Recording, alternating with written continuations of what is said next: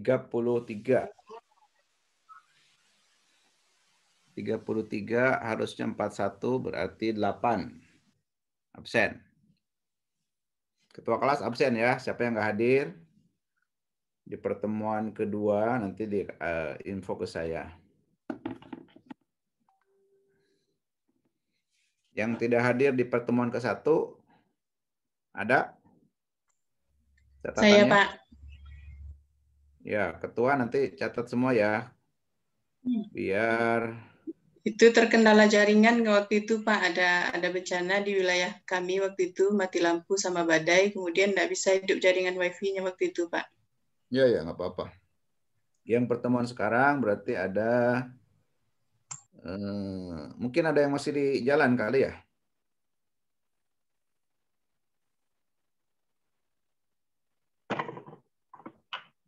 Di sana gimana kondisi PPKM? Ada pembatasan jalanan enggak? Iya Pak, ada pembatasan Pak. Pak. Oke. Baik. Apa-apa, kita sambil jalan aja. Bismillahirrahmanirrahim. Assalamualaikum warahmatullahi wabarakatuh. Waalaikumsalam warahmatullahi wabarakatuh. Uh, semoga Bapak Ibu rekan-rekan semua sehat semua ya dan kita doakan saudara-saudara kita yang hari ini kena penyakit segera sembuh, baik penyakit COVID maupun apa pun penyakitnya. Yang dalam kesulitan semoga segera diberikan kemudahan, yang dalam kesempitan segera diberikan keluangan. Amin. Amin, Pak. Baik, eh, perkuliahan kita ini adalah pertemuan yang kedua untuk sesi 3 dan 4. Ya. Eh, materi kita adalah Human Resources Management. Kita sudah eh, membahas sebelumnya. Coba saya cek di sini sudah chapter berapa kita bahas. Sudah sampai di mana kita bahas.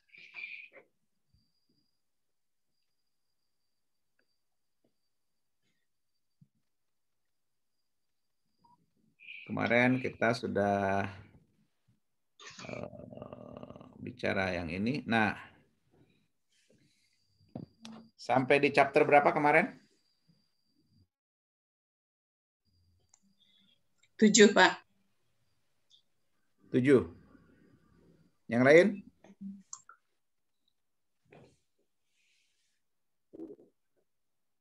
Yang lain punya catatan? Pak Israr sampai berapa? Eh, delapan Pak. Delapan belum atau sudah? Sudah Pak. Oh delapan sudah. Coba cek Karena kemarin lagi. dua dua dua apa dua dua sesi dua dua part Pak. Oke. Rekrutmen dan selection sekaligus gitu ya? Iya Pak. Yang lain ada yang punya catatan lain? Jangan-jangan beda. Yang satu, oh saya udah sampai 18 Pak. Bisa juga. Sama, Sama Pak, Pak sampai 8, chapter 8, Pak. Sama chapter 8 ya. Nah, kemarin memang eh, 7 dan 8 ini digabung, tapi mungkin waktunya mepet, jadi belum jelas banget. Nggak apa-apa, nanti 7 8 saya eh, perjelas lagi, ya supaya teman-teman dapat lebih clear. Karena hari ini kita akan coba eh, selesaikan semua chapter ini menjadi sampai ke 18, ya jadi kita akan bahas uh, semuanya. Untuk chapter 7 dan 8 saya akan ulang untuk penekanan kembali biar nggak lupa. Ya. Selanjutnya kita akan masuk ke poin berikutnya 9 sampai dengan 18 ya. Baik. Eh, teman-teman tolong dipahami semua poin per poin nah, dengan mendalam. Kenapa demikian? Karena nanti pekan depan di waktu yang sama teman-teman akan UAS di mana caranya sangat sederhana yaitu teman-teman hanya membuat uh, slide presentation maksimal 5 slide ya per topik per chapter Jadi chapter 1 5 slide, chapter 2 5 slide maksimal ya, boleh 3 sampai 5 boleh.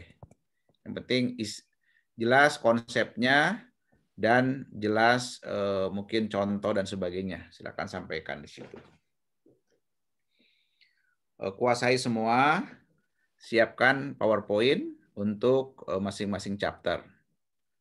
Nanti teman-teman akan presentasi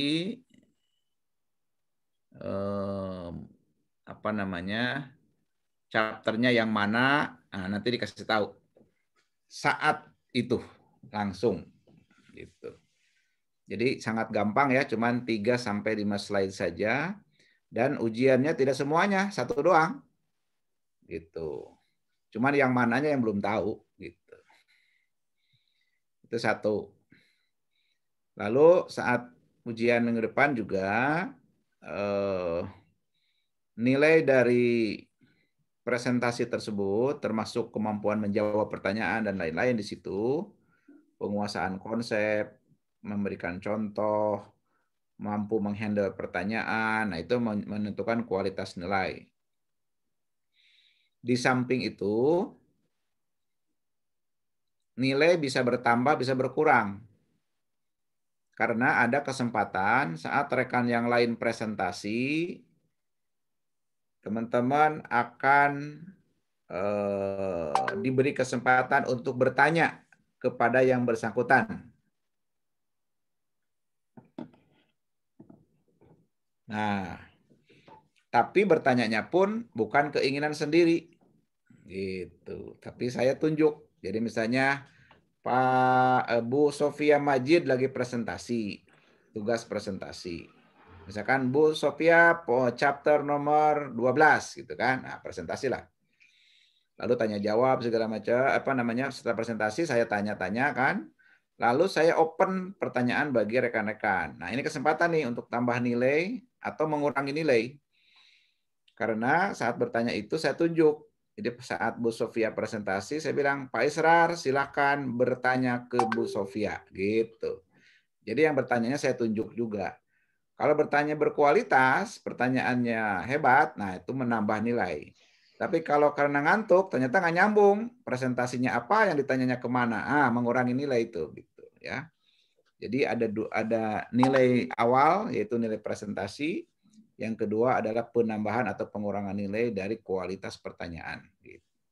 Jadi sangat gampang, tidak usah semua 18 dipresentasikan, hanya satu saja dan itu pun hanya 3 sampai 5 slide. Jelas ya? Mas Pak. Ini wajahnya setuju apa enggak setuju ini? Harus setuju, Pak. Setuju, Pak. Gampang lah ya. Baik. Jadi kita coba sekarang uh, sekilas membeda, uh, membahas tentang topik rekrutmen dan uh, apa namanya selection. Teman-teman kalau ada pertanyaan langsung ya. Kemarin sudah dibahas apa bedanya rekrutmen dengan selection?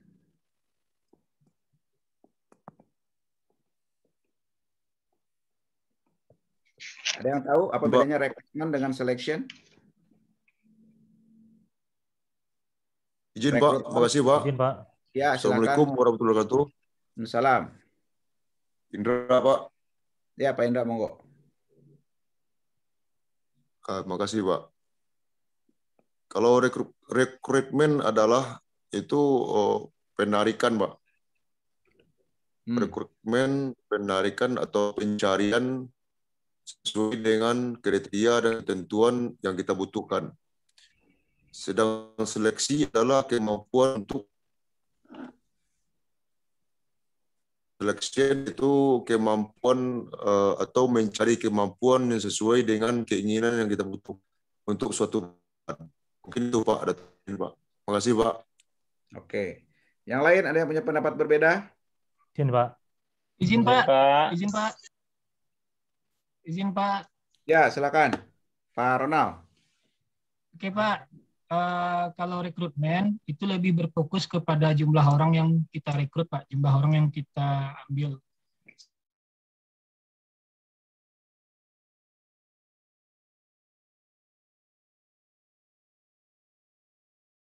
Pak Rizky, coba apa ukurannya kalau rekrutmen itu berhasil? Dan Jadi, apa ukurannya selection berhasil? Kalau rekrutmen itu dia lebih ke arah mencari sebanyak-banyaknya pegawai, Pak. Jadi dia banyak eh, lebih ke arah eh, kuantitas. Kemudian nanti kalau yang selection dia sudah ada pilihan terbaik. Itu, Pak. Nah, hampir benar, tapi hati-hati katakannya bukan pegawai ya. Menampung sebanyak-banyaknya kandidat. Ah, bukan pegawai tuh. Jadi kita eh, luruskan bahwa apa namanya rekrutmen itu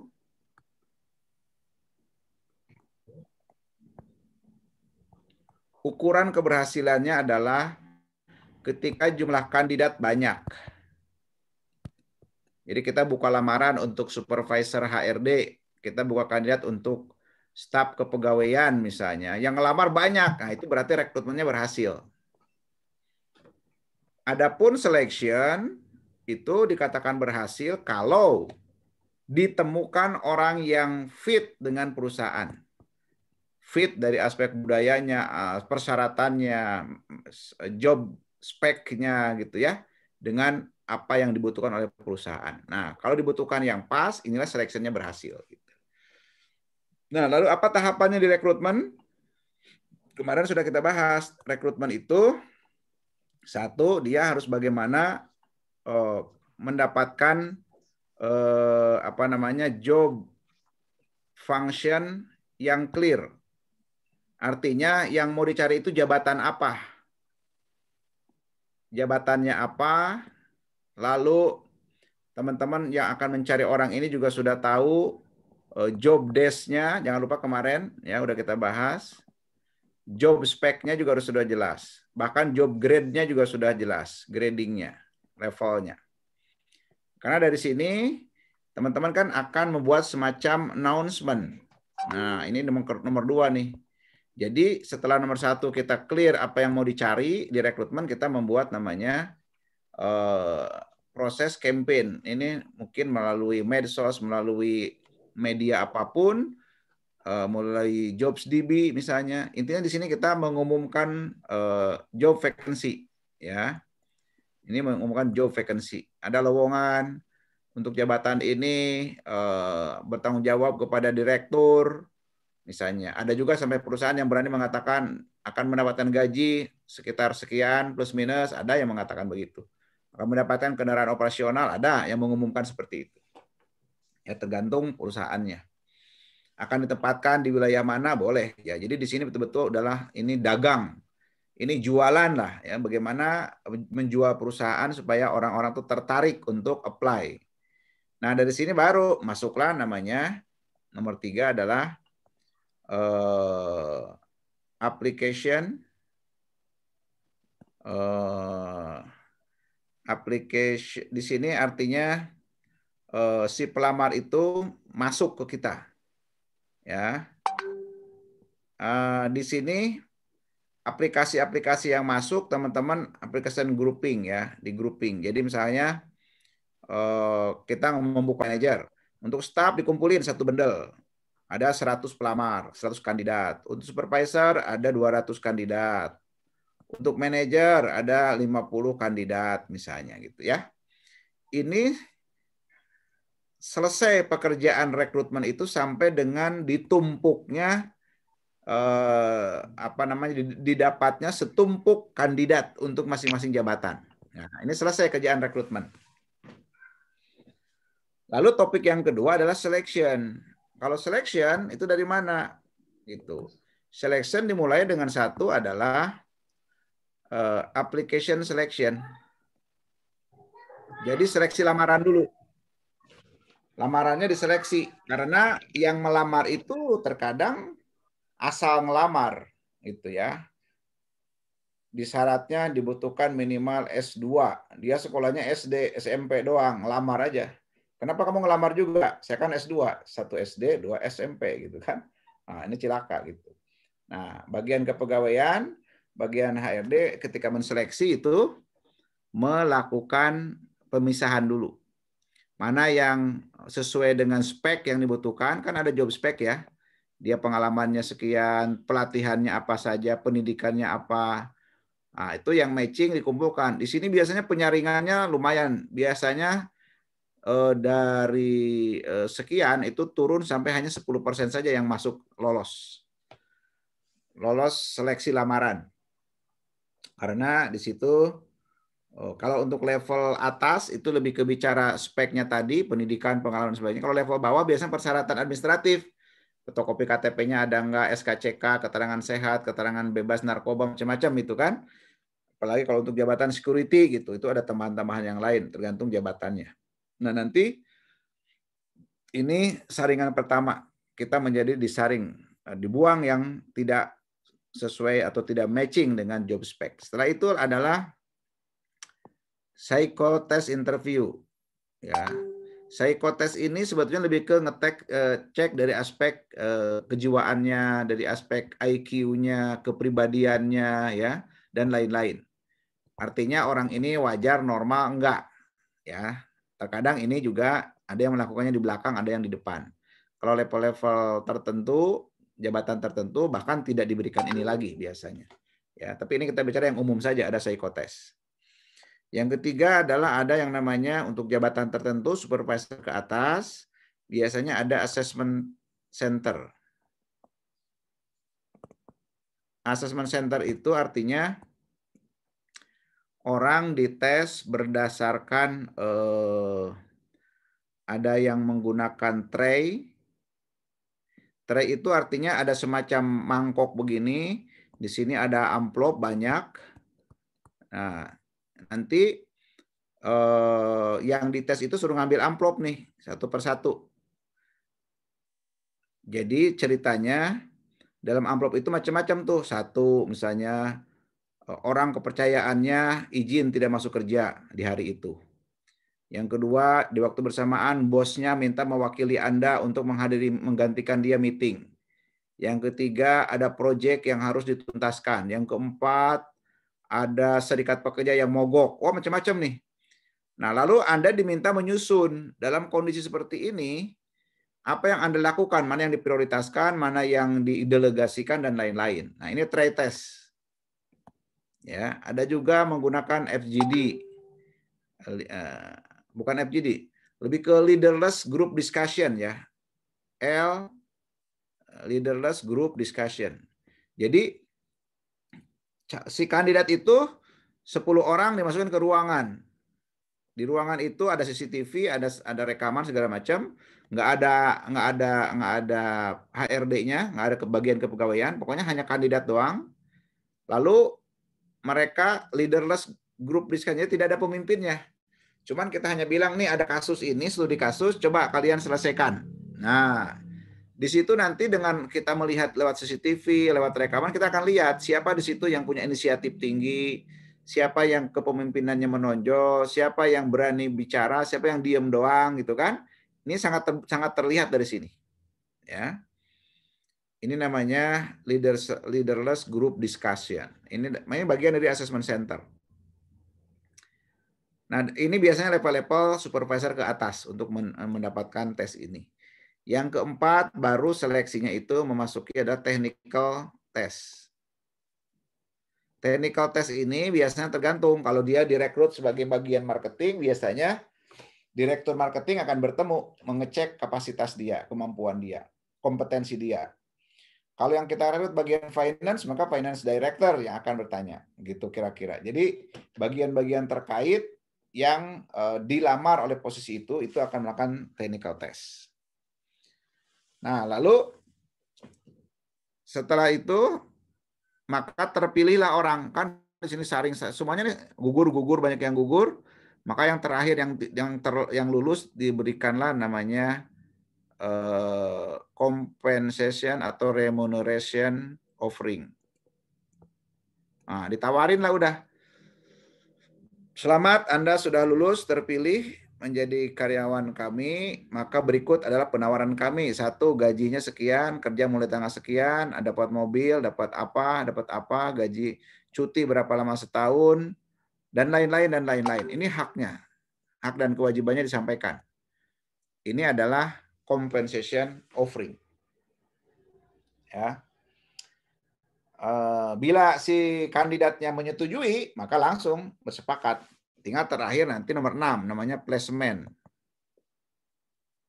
Placement itu artinya penempatan. Jadi ketika dia datang, nah untuk nomor 6 ini, ketika dia datang ke kantor, itu ada nanti namanya New Employee Orientation Program.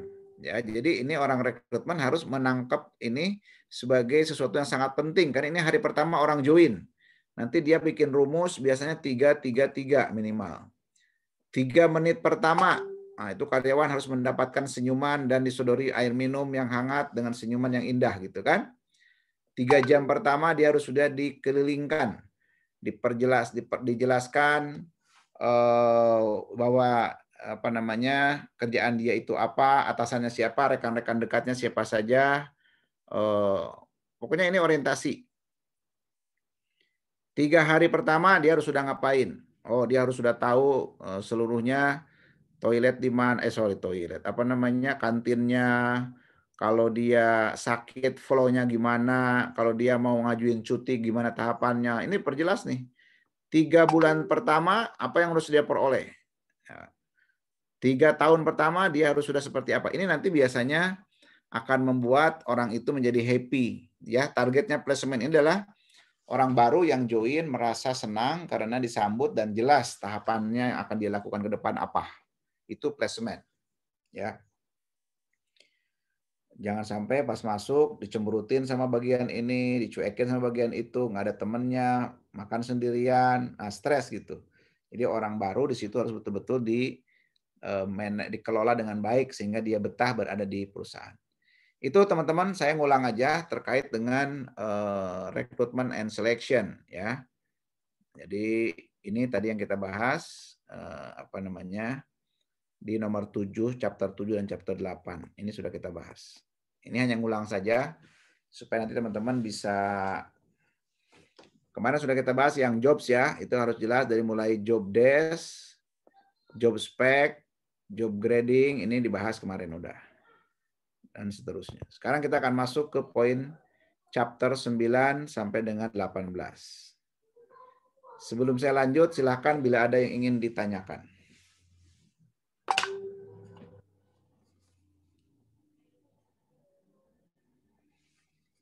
Yang nanya dulu?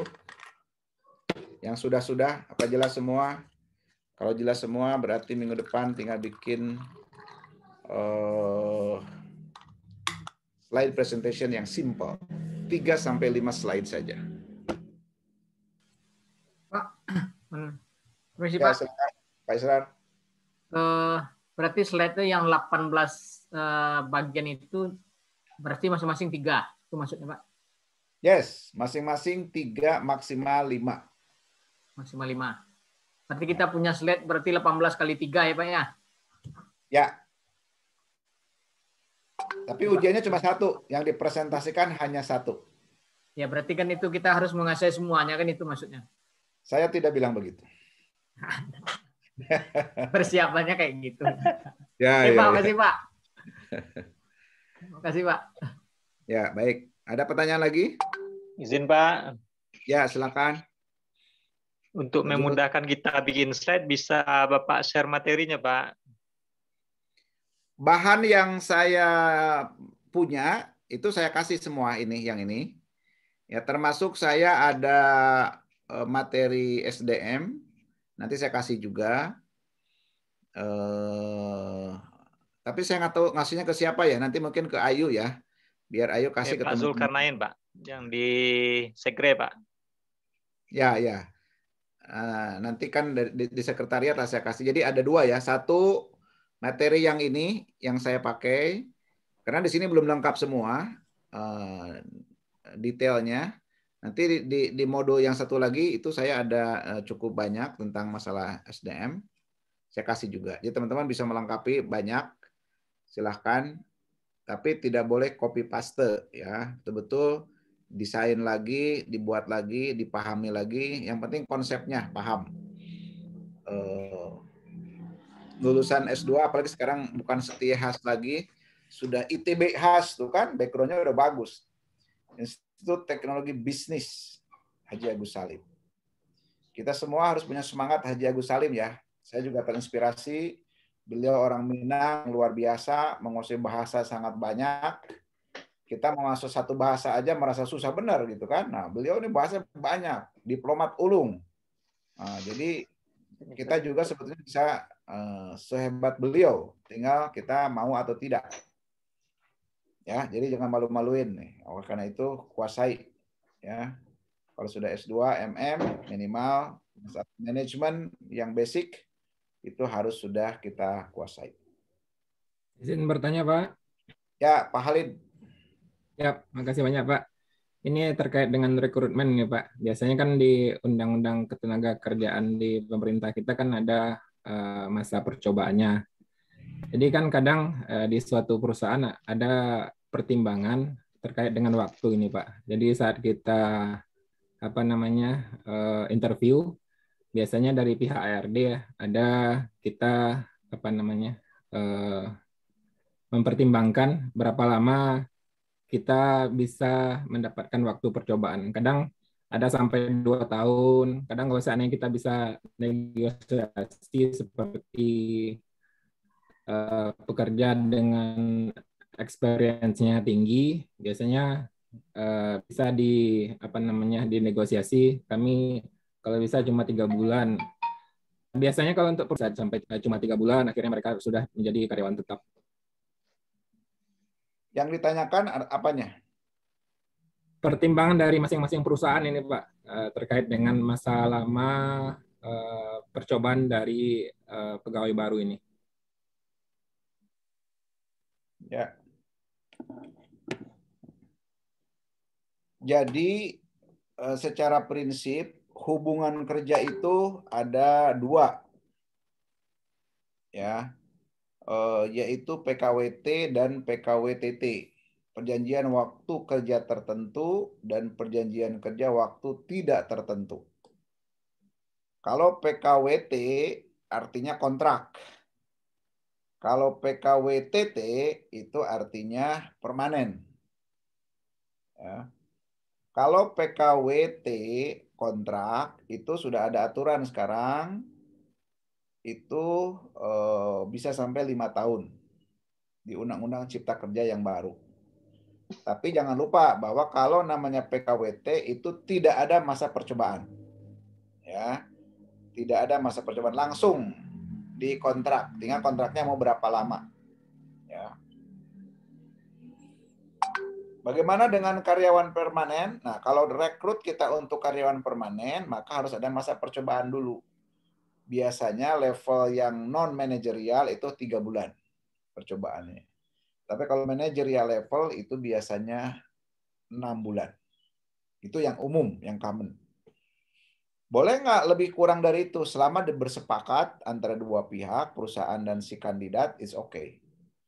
Tapi kalau karyawannya itu orang yang berkelas, dia ahli di bidang tertentu, bargainingnya lebih kuat, nah, dia bahkan terkadang saya nggak mau di percobaan, saya kalau mau langsung karyawan tetap bisa, gitu. Dia tergantung daya jual diri kita. Kalau kitanya orang yang susah dicari, orangnya orang unggul, itu boleh Anda mengatakan saya nggak mau masa percobaan, saya mau langsung jadi karyawan tetap, saya juga pengen langsung punya mobil dikasih, pengen gaji pun sekian. Bisa nggak? Bisa. Karena perusahaan yang butuh kita. Gitu. Itu ya, Pak Halid.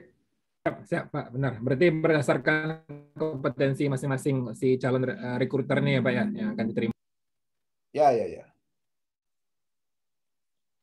Oke, kita masuk ke uh, topik berikut, chapter berikut yaitu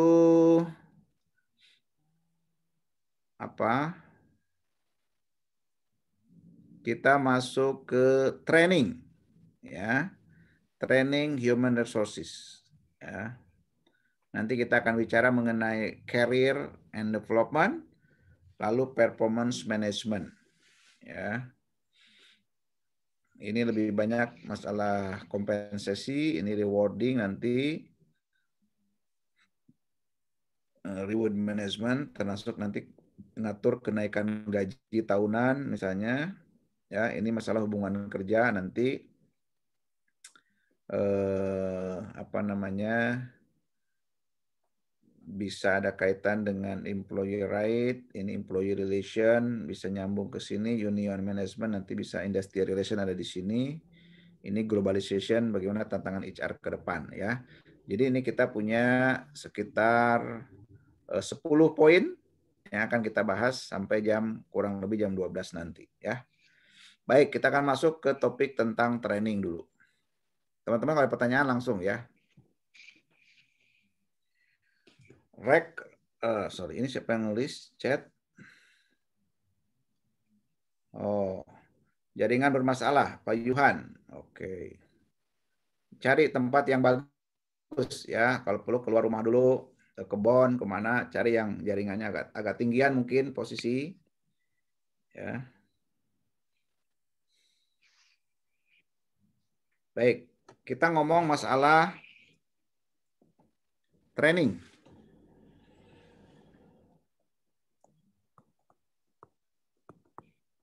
training atau pelatihan ya. Kalau di perusahaan biasanya digabung training and development. Ya, tapi nanti developmentnya kita bahas di topik kedua. Cuman teman-teman mungkin harus tahu dulu apa bedanya training dengan development gitu. Ada yang tahu apa bedanya training dengan development?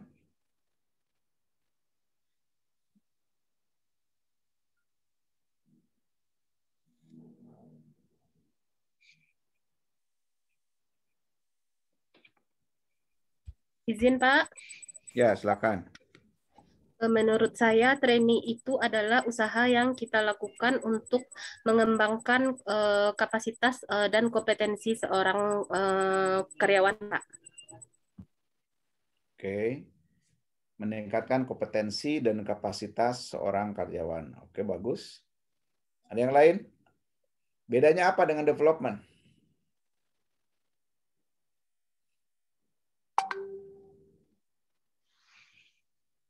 Izin, Pak. Ya. Izin menjawab, Pak. Ya, kalau training kemungkinan besar kalau secara harfiah aja, uh, uh, mohon maaf jika salah. Kalau training biasanya uh, untuk satu bidang yang menjadi uh, kompetensi kita untuk pemahamannya ke tingkat yang lebih tinggi. Kalau development mungkin uh, si perusahaan berusaha mungkin kepada si karyawannya agar dia mencoba membuka ruang baru terhadap pengalaman dan pengetahuan baru, Pak. Demikian, Pak. Oke. Tadi Habibah, silakan. Eh, kalau yang saya pahami Pak, training itu mendapatkan kompetensi, eh, kompetensi yang mungkin sebelumnya belum pernah dimiliki, sedangkan development itu pendalaman dari kompetensi yang dimiliki Pak. Oke. Izin Pak. Ya, lanjut siapa? Uh, kalau menurut saya training itu mungkin kepada satu kompetensi tertentu dan training itu jangka waktunya mungkin agak singkat. Sedangkan development itu mungkin uh, beberapa kompetensi yang cukup besar, tapi jangka waktunya yang lama. Jadi membangun kompetensi soft skill maupun hard, hard skill dari seseorang tersebut, Pak. Demikian, Pak. Ya. Coba, Pak. Lanjut. Ya, izin Pak.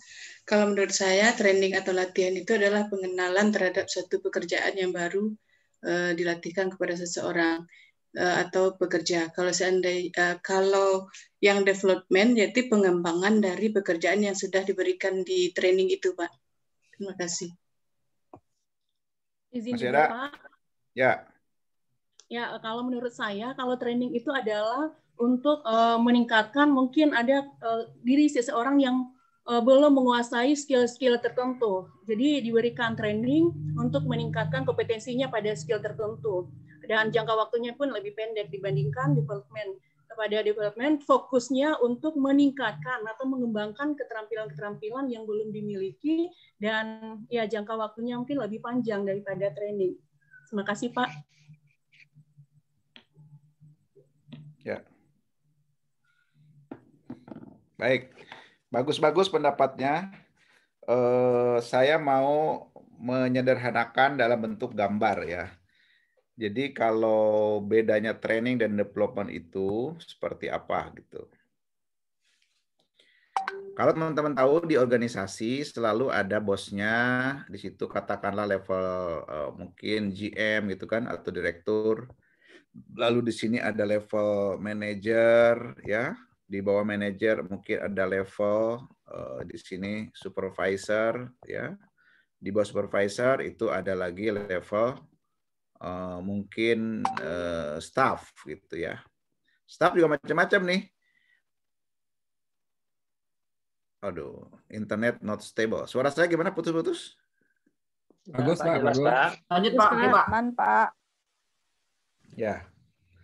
Jadi kalau contoh di toko ya, sama-sama staff, tapi ada yang staffnya sebagai SPG, ada staffnya sebagai kasir, ada staff bagian gudang gitu kan. Ini sama-sama staff juga jabatannya beda-beda. Apalagi di supervisor, di manajer itu semuanya pasti ada beda-beda. Nah, Kan masing-masing mereka itu harus bisa menjalankan tugasnya masing-masing dengan baik. Seorang SPG harus bisa menjalankan tugas sebagai SPG. Seorang kasir harus bisa menjalankan tugas sebagai kasir. Seorang bagian receiving harus bisa melakukan penerimaan barang dengan baik. Bagian kepegawaian, bagian eh, marketing, bagian finance, semuanya harus bisa menjalankan uh, tugasnya masing-masing dengan baik. Nah, itu itu itu prinsipnya. Nah, agar masing-masing tadi bisa menjalankan tugasnya dengan baik, maka dibutuhkanlah modul-modul pelatihan. Sehingga masalahnya kan di sini itu sama-sama SPG juga. SPG itu ada yang baru masuk, ada SPG yang udah sedang, ada yang sudah senior. Sehingga materinya nanti dibikin. Misalkan untuk SPG ada materi training basic, ada materi training intermediate, ada materi training advance. Jadi orang HRD, orang kepegawaian membuat sejumlah pelatihan itu tujuannya agar masing-masing bisa menjalankan tugasnya dengan baik pada jabatannya masing-masing. Itu. Jadi tidak ada satupun pihak di dalam perusahaan yang tidak mendapatkan pelatihan pada bidang dia. Orang pajak akan dilatih terus tentang perpajakan, orang finance dilatih terus tentang finance, orang kepegawaian dilatih terus tentang masalah SDM dan seterusnya dan seterusnya. Jadi itulah tugas dari bagian kepegawaian membuat sejumlah training namanya pelatihan. Nah, apa bedanya dengan development? Nah, kalau training tadi semua orang, semua jabatan harus ada modulnya disiapkan. Adapun development itu tidak demikian. Development itu lebih fokus kepada bagaimana dari sejumlah staff ini dicari talent yang terbaik, talentnya. Talent itu artinya paling menonjol, orang yang paling unggul, orang yang kinerja paling bagus. Misalkan dari tiga ini yang paling bagus adalah si C ini. Ini paling bagus nih. Kedisiplinannya bagus, kerjanya oke. Nah, si C inilah yang lalu diberikan program development. Development itu artinya orang-orang yang dipilih akan dilatih tambahan untuk bisa menduduki jabatan lebih tinggi. Namanya juga development, mendorong, mengembangkan. Kalau training itu datar, pokoknya pada jabatan dia hari ini. Kalau development itu mendorong orang agar bisa menduduki jabatan lebih lebih tinggi. Sampai sini jelas dulu training and development? Jelas, Pak. Jelas, Pak. Ya, itu baru bedanya. Nah, baru kita akan bahas sekarang satu persatu. Apa itu training, apa itu development. ya. Nah, training. Dari mana training memulainya? Tadi selalu kita kan dari dari job yang kita bahas di awal, kita ingat di bahasan job itu sudah kita punya ada job desk, sudah ada di situ namanya job spec dan juga job grade, job grading. Nah, di dalam job desk ini job desk dan job spec ini akan diolah akan menjadi apa yang disebut dengan TNA, Training Need Analysis. Setelah tahu bahwa pekerjaan seorang SPG itu satu, misalkan menata barang, Dua, dia harus mampu menawarkan dengan penuh rayuan misalnya gitu ya. Namanya juga SPG kan, merayu pembeli. Dia harus mampu melakukan transaksi. Jadi bagaimana transaksi? Ini contoh ya di job desk-nya begitu. Nah, dari job desk ini semua itu akan turun menjadi kebutuhan pelatihan. Agar dia bisa menata barang dengan baik, maka dibutuhkan penjelasan tentang menata barang yang benar seperti apa. Agar dia bisa memberikan penawaran barang, offering dengan baik, maka dia harus dapat pelatihan apa. Jadi intinya, yang pertama dilakukan dalam konteks training ini adalah dia harus melakukan analisa kebutuhan pelatihan untuk semua jabatan. DNA-nya dijelasin dulu. Oh, ternyata SPG butuh pelatihannya untuk basicnya ini, untuk intermediate ini, untuk advance-nya butuh ini. Ya, baru yang kedua adalah pembuatan modul. Ini kan nggak gampang nih bikin modulnya. Ya. Yang ketiga adalah penetapan instruktur plus timingnya. Waktunya kapan? Instrukturnya siapa? Apakah dari internal atau eksternal? Sebaiknya kalau yang rutin itu dari internal, karena kan biayanya mahal. Jadi yang di atas lebih banyak memberikan pelatihan kepada yang di bawah. Ya. Itu satu, dua, tiga. Nah, baru nanti ada yang namanya recording.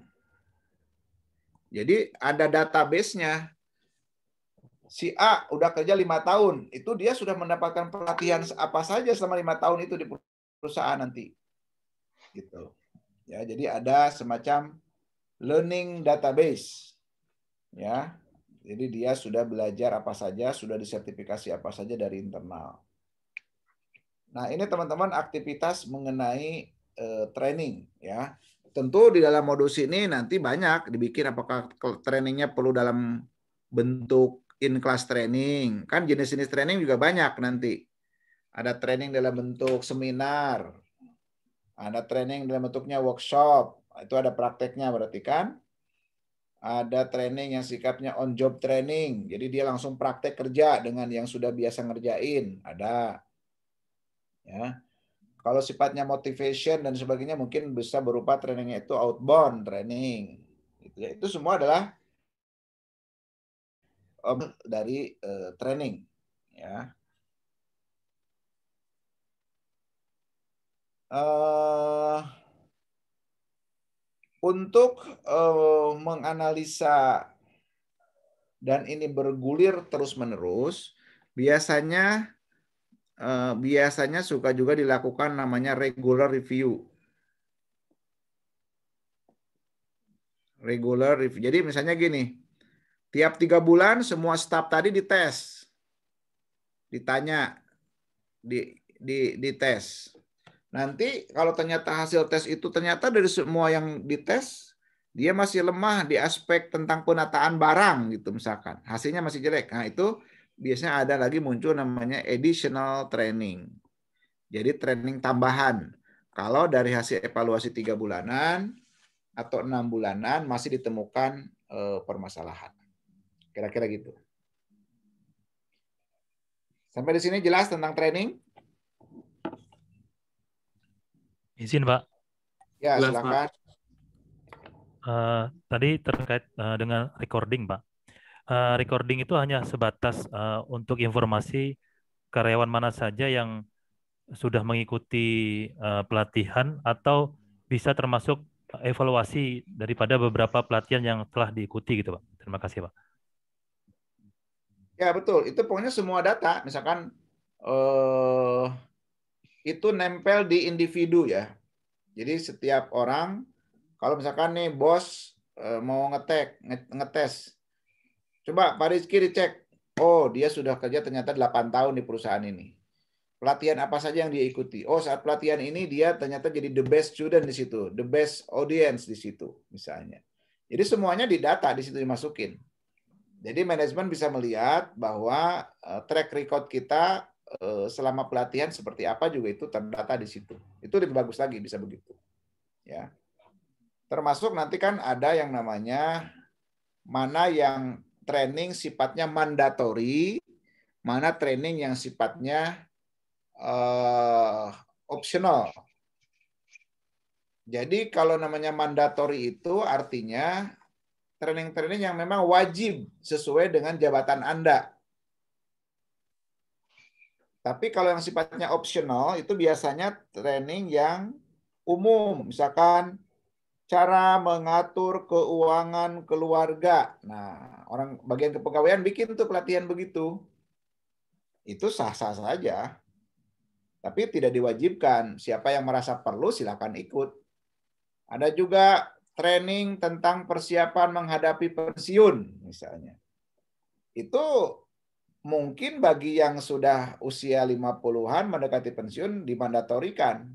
Tapi kalau yang masih muda 20-30 itu silakan saja opsional. Kalau mau ikut monggo, kalau enggak nggak apa-apa. Gitu. Itu ya bicara mengenai training.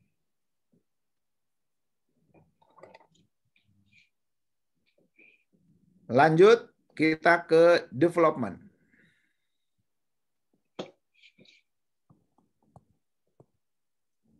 Jadi teman-teman topik-topik saya ini poin-poinnya saja. Jadi nanti teman-teman silakan cari lagi referensi lain, sumber lain, lalu eh, apa perkaya dan di setelah banyak sumbernya lalu diperas menjadi 3 sampai 5 slide tadi. Gitu ya. Jadi diperbanyak dulu, jangan baru satu langsung diperes gitu kan, itu nggak bisa. Cari dulu sumbernya yang banyak, cari dari buku, dari mana gitu, baru diperas menjadi 3 sampai 5 slide. Development itu tujuannya adalah bagaimana agar perusahaan itu tidak mengalami kesulitan mencari pemimpin. Jadi bagaimana bahkan jadi ukurannya itu kayak contoh perusahaan-perusahaan besar dunia Unilever, Nestle dan sebagainya, dia bisa 90% lebih leader-leader yang ada di perusahaan itu itu tidak perlu rekrut dari luar, tapi hasil pengembangan dari dalam. Bagaimana caranya? Nomor satu harus ada bikin talent management, TM. Talent management itu artinya harus ada program pemilihan talent. Jadi ngelola talentnya dikelola. Talent itu artinya orang-orang yang unggul lah ya. Jadi kalau ini level GM, GM-nya di perusahaan ada berapa orang? Kalau perusahaannya besar kan bisa aja GM-nya ada 50. Manajernya ada 100. Supervisor ada 200. Staff ada 500 misal gitu ya. Dari jumlah karyawan ini, kita sebagai orang kepegawaian harus membuat talent manajemennya. Pilih biasanya 5 eh, persen 3 sampai 5 persen orang terbaik dari sini. Jadi di masing-masing level itu dipilih orang-orang terbaiknya.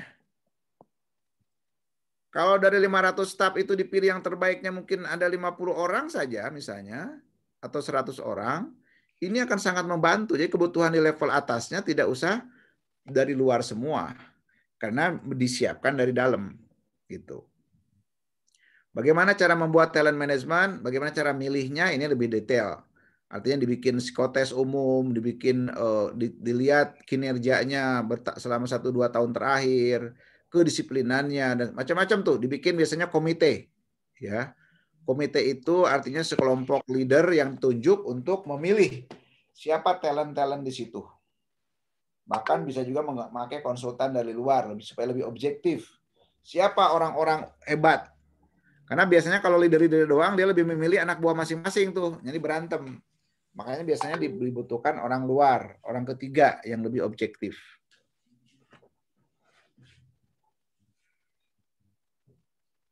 Nah, di sini teman-teman sekalian, eh, apa namanya? Setelah dimiliki TM-nya, talentnya sudah ada di setiap level, maka membuat development program. Development program itu misalnya gini, dari level staff, orang-orang pilihannya itu kan dipilih, dilatih supaya bisa menjadi supervisor. Nah, dan kan dia sudah tahu supervisor itu harus punya kemampuan tambahan apa. Oh, di sini harus ada kepemimpinannya, harus ada kemampuan komunikasi, macam-macam kan. Nah, inilah yang akan dalam program ini. Jadi orang-orang yang dipilih tadi akan diberikan pelatihan tambahan akan diberikan pendidikan tambahan. Supaya apa? Supaya dia suatu saat bisa menduduki jabatan lebih tinggi. Itu namanya development programnya di situ. Ya. Sebuah development program akan berjalan dengan baik kalau dia punya talent management yang baik. Ya. Development eh, program ini sebetulnya ini teman-teman nyambung dengan career management. Ya. Jadi orang-orang talent tadi itu sudah kebaca dia akan naik ke mana jabatan berikutnya. Ya. Tentu tidak eh, apa ya namanya? Tidak semua orang ya hanya talent saja. Di talent itu akan dibikin metrik begini nih biasanya. Digabungkan antara orang yang eh, potensinya bagus dan kinerja ya. Jadi dimetrikan. Biasanya ada sembilan. Seperti ini. Orang yang potensinya bagus dan kinerja bagus. Ini bintangnya di sini nih. Ini yang paling hebat. Kalau ini potensinya jelek, kinerja juga buruk. Nah, ini biasanya deadwood. Ini biasanya calon di PHK nih. Termasuk orang-orang sekitar sini. Ini biasanya rawan. Nah, yang menjadi talent itu biasanya di sini aja nih. Ini adalah tiga kelompok yang mungkin eh, akan dipilih menjadi talent tadi yang dimasukkan ke dalam sini. Yang untuk dipilih orangnya agar masuk ke dalam program eh, development. Sampai sini penjelasan tentang development gimana? Ada yang ditanyakan nggak? Development.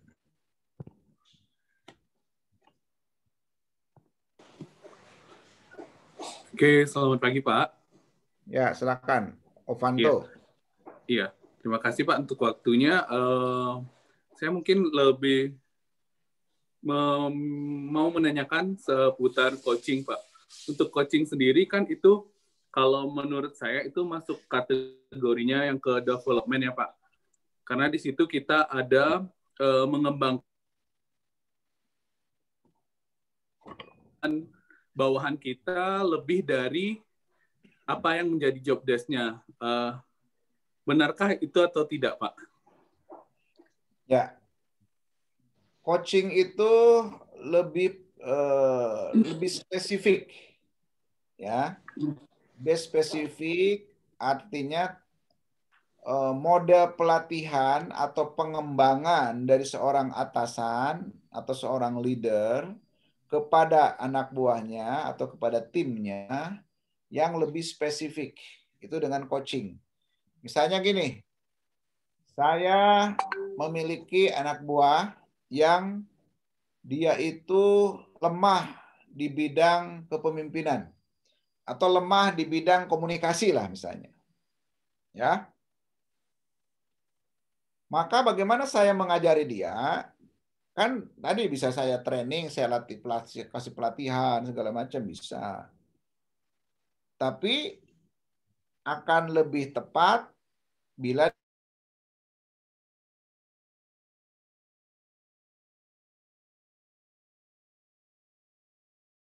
sekarang lem, eh, kerjanya bagus sih, tapi sangat lemah di aspek komunikasi.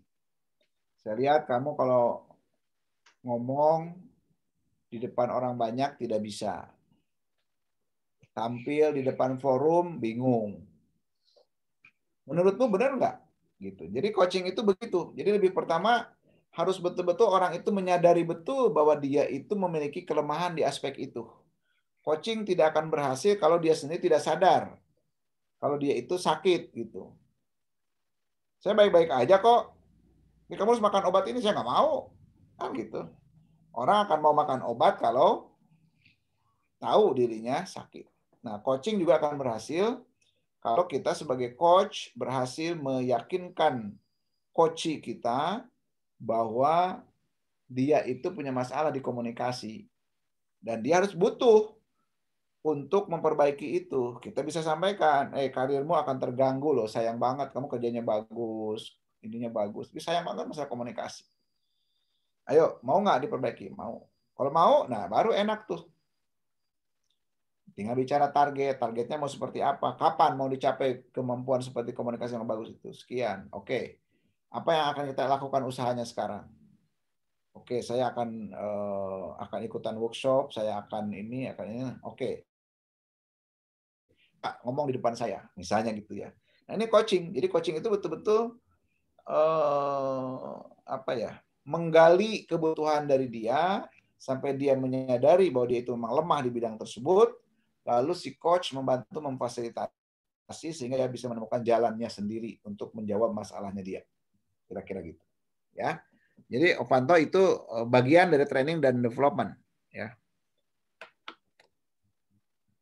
Kalau konseling apa? Kalau konseling lebih ke masalah kepribadian. Gitu ya. Kalau coaching kan keahlian, keahlian komunikasi, keahlian kepemimpinan, keahlian apa gitu, itu coaching. Tapi kalau konseling saya punya problem ini, problem itu, supaya problem saya bisa tuntas, nah itu di konseling. Ada lagi? Uh, boleh lanjut dulu Pak untuk pertanyaan. Uh, mungkin uh, ya. sharing dari Pak Dasep mungkin yang lebih expert dalam bidang SDM ya Pak. Uh, jadi uh, kalau saya dulu di kantor kan uh, menggunakan juga matriks seperti yang Bapak buatkan barusan mengenai potensi dan kinerja bawahan. Uh, terus juga ada uh, untuk mengukur tingkat kemampuan seseorang kan dari onlinernya Pak.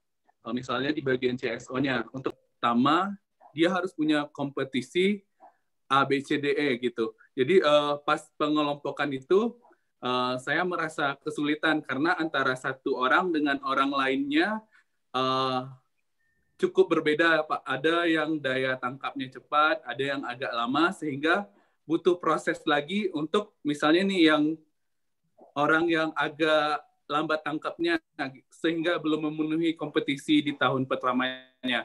Nah, uh, kalau menurut Bapak ada teknik lain nggak yang bisa diterapkan untuk mengembangkannya lagi atau uh, ada mungkin kayak semacam skor dibikinkan scorecard atas penilaian tahunannya atau dilakukan konseling dan bagaimana Pak? Boleh dibantu Pak? Terima kasih. Ya, nanti di dalam topik performance management kita akan bicara di sana eh, terkait termasuk bagaimana kita menurunkan dari eh, apa namanya objektif perusahaan menjadi objektif individu dan nanti menjadi KPI pribadi dan nanti juga akan muncul kompetensi yang harus dimiliki itu apa. Ya, nanti kita akan bahas di topik nomor berapa tuh chapter sekian ya tentang eh, apa eh, kompetensi kerja di situ kaitannya kita lihat ya Nah, nanti di, di poin 11, mungkin setelah selesai kita bicara uh, development, kita akan masuk ke performance management, nyambung ke situ ya. Ini nanti akan bicara mengenai uh, sebetulnya di dalam uh, membuat orang berkinerja dengan baik itu kan ada persyaratan. Itu diturunkan. Karena orang tidak akan berkinerja baik kalau dia sendiri tidak tahu ukuran saya dikatakan baik itu apa. Nah, itu nanti diukurkan diturunkan dari atas dari objektif company ke objektif direktorat, objektif GM divisi dari uh, divisi menjadi departemen, dari departemen menjadi section dan ke bagian bawah lebih lanjut ya. Kalau di pegawai pemerintahan di ASN ya mungkin dari mulai kepala dinas, kabag, kasih dan seterusnya gitu. Itu jadi harus satu line jadi sekarang di presiden aja kan tidak boleh ada visi misi menteri, tidak boleh semuanya visi presiden gitu kan. Kira-kira gitu. Jadi semuanya lain. Visi perusahaan apa? Nah, nanti diturunkan ya. Gitu. Thank you, Pak. Oke, okay, Pak. Tadi siapa lagi? Izin Pak Yohan, Pak. Ya, Pak Yohan. Uh, menyambung dari pertanyaan Pak Opanto, Pak. Dan seperti yang Bapak jelaskan juga, berdasarkan bentuknya tadi, source-nya training seperti on the job training, off the job training itu itu kan salah satu bentuk uh, bentuk-bentuk dari training pak ya. kalau uh, kalau untuk ASN sendiri Pak di kami pemerintah pemerintahan ini kebetulan saya juga pegawai itu biasa yang kita alami kan Pak itu pelatihan pelatihan yang sifatnya on the job training Pak ya atau training training training. Itu kira-kira untuk developmentnya dalam bentuk apa tuh Pak ya yang kalau untuk ASN Pak? Karena selama ini kami membedakan antara training dengan development di pemerintahan itu sangat belum belum paham lah gitu Pak. Terima kasih Pak. Ya. Sebetulnya kalau di militer, ASN militer itu lebih jelas ya. Jadi kalau di ASN itu kalau orang di jabatan sekarang dia boleh menduduki jabatan lebih tingginya itu, dia dipersyaratkan dulu sudah ikut pelatihan ini ini ini ini. Gitu. Dia misalkan menjadi sekarang menjadi kapolsek ya seorang kapolsek itu harus sudah harus mengenyam materi ini ini ini itu ada tuh materi-materi yang sifatnya mandatori seorang kapolsek. Kalau dia mau menduduki jabatan lebih tinggi lagi karirnya, itu dia harus sudah ikut pelatihan tambahan apa. Gitu. Saya belum tahu di. Eh, minimal saya lihat di ASN juga ada yang namanya pelatihan prajabatan ya itu sebetulnya lebih mempersiapkan orang untuk bisa menduduki jabatan tersebut. Terus ada juga dikirimkan orang untuk ikut di Lemhanas untuk jabatan tertentu. Itu juga sama, itu bagian dari development. Jadi semua wali kota, bupati harus wajib ikut Lemhanas dulu, misalnya. Ya. Jadi kira-kira gitu uh, ininya apa namanya uh, bentuknya. Memang tidak persis sama dengan di swasta, tapi saya lihat di ASN juga sudah uh, menyiapkan itu ya. Cuman mungkin karena jumlahnya banyak, orangnya saya nggak tahu sehingga untuk proses development, uh, untuk proses training saja itu udah kewalahan mungkin. Sehingga development lebih akhirnya simple. Siapa yang lebih duluan, lebih tua itu yang nanti mengutamakan senioritas. Kalau di swasta itu enggak walaupun udah duluan, udah senior, udah lebih ubanan, kalau tidak mampu minggir gitu. Mungkin di ASN eh, proses developmentnya eh, belum sekuat di swasta, tapi saya lihat itu sudah mulai eh, ada ya, sudah mulai bergerak. Gitu. Ada lagi? Terima kasih Pak. Pak izin Pak. Ya Pak Irwan. Terima kasih Pak. Assalamualaikum warahmatullahi wabarakatuh. Salam. Uh, sedikit Pak barangkali saya mau uh, meminta tips nih Pak. Misalnya kita menemukan uh, salah seorang staf yang kita yang berada di bawah kita itu ini memiliki kemampuannya sudah di level yang tinggi gitu Pak. Punya punya skill kemudian walaupun dia belum mengikuti training atau belum uh, diberikan kesempatan untuk melakukan pengembangan-pengembangan yang disediakan oleh perusahaan gitu. Nah, uh, bagaimana kira-kira karena dia masih di level di bawah nih Pak, level staff. Ini bagaimana kira-kira kita uh, bisa mendorong mekanisme apa yang diperoleh sehingga potensi besar dia ini tidak mentok hanya pada kapasitas di sebagai staf saja gitu. Uh, itu pertama Pak. Kemudian yang kedua, bentar, terkadang Uh, sistem yang ada yang kita ikuti terutama di sebentar. Yang pertama tadi artinya di staf kemampuannya banyak gitu, bagus. Dia punya potensi, ya bagus sekali Pak. Cuma dia masih di level staff gitu Pak. Dan kadang-kadang uh, apa namanya karena saking kreatifnya dia mengerjakan pekerjaan yang sudah berada di luar tanggung jawab dia gitu. Bahkan ada eh, pekerjaan yang barangkali bidang sebelah sudah dia ambil gitu kan. Nah bagi perusahaan sebetulnya menguntungkan karena ide-ide dia eh, apa yang dia lakukan itu menambah memberi nilai tambah bagi perusahaan. Tapi de, dalam hubungan dengan rekan kerja akhirnya eh, ada persoalan pak. Karena dia terlalu menonjol rekan-rekan yang lain ini biasa saja atau bahkan kurang mampu menjalankan amanah sehingga timbul yang namanya uh, ya mungkin dia menjadi orang yang uh, di apa ya dimusuhi oleh teman-teman gitu. Nah, bagaimana kita mengelola orang-orang seperti ini sehingga bagi potensinya tidak mati, tetapi juga tidak menimbulkan apa dengan perusahaan gitu, harmonisasi hubungan kerja gitu. Oke, okay, good. Kita jawab dulu satu-satu ya. Nanti kalau ada yang kedua boleh, tapi satu dulu biar nggak lupa. Jadi ini sama-sama staff. Yang satu ini hebat kemampuannya, eh, kapasitasnya dan sebagainya. Gimana cara memanfaatkan? Mengutilisasinya bagaimana?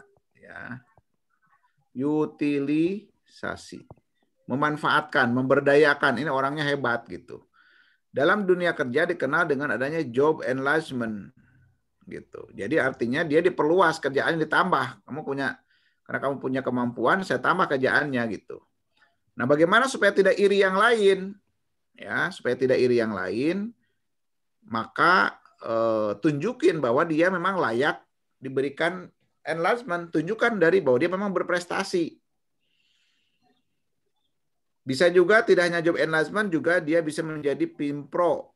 Pimpro, ada proyek-proyek tertentu, kerjaan apa, ditugaskan dia yang mimpin. Supaya yang lain tidak iri bagaimana? Ditawarkan dulu. Nih kita butuh PIM Pro ini, syaratnya ini, ini, ini. Siapa yang mampu? Ayo presentasikan dulu. Nah, ternyata dia yang menonjol, yang mampu. Ya udah. Tapi artinya yang lain juga merasa diberi kesempatan juga kok. Gitu. Ya.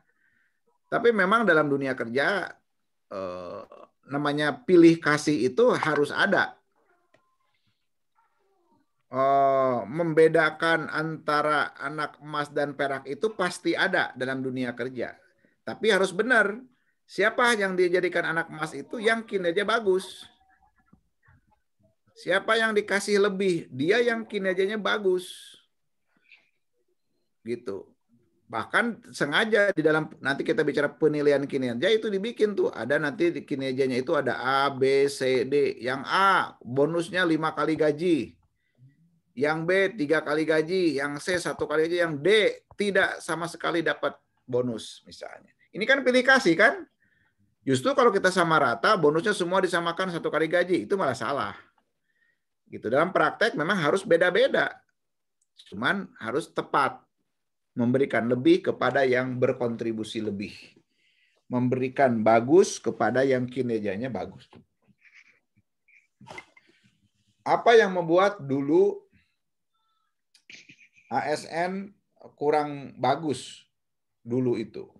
Karena mungkin dulu itu eh, orang mau pinter ke mau enggak ke mau disiplin mau enggak pokoknya semua sama aja pendapatannya gitu. Nah, kalau sekarang kan sudah ada penilaian inilah, penilaian itulah dikaitkan dengan kehadiran lah macam-macam. Menurut saya itu sudah sudah bergerak maju gitu, lebih maju. Itu ya. Oke? Okay? Nah, Tadi ada lanjut satu lagi, Pak Irwan? Ya, gini Pak. Uh, kalau misalnya dia bekerja di bidang dia gitu Pak ya. Yang dia putus, kerjakan bidang dia, ya, di bidang dia itu, itu misal gini Pak, halo? Halo Pak? Ya, ya. Halo? Ya, oke. Okay. Ya. Jadi gini Pak, problemnya gini Pak, dia dia uh, terlalu kreatif, kemudian uh, apa yang ada di bidang kerja dia itu udah dikerjakan semuanya. Nah dia uh, lalu uh, tidak punya ruang lagi kita mengembangkan dia di bidang dia. Nah apakah boleh kita misalnya tadi kan pengembangannya kita uh, arahkan dia untuk mengerjakan bidang yang lain gitu, yang di luar tupoksi dia.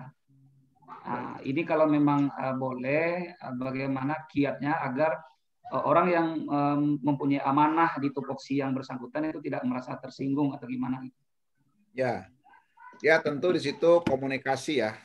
Bagaimana seorang atasan eh, harus bisa komunikasi dengan jelas eh, supaya kedua belah pihak itu nyaman.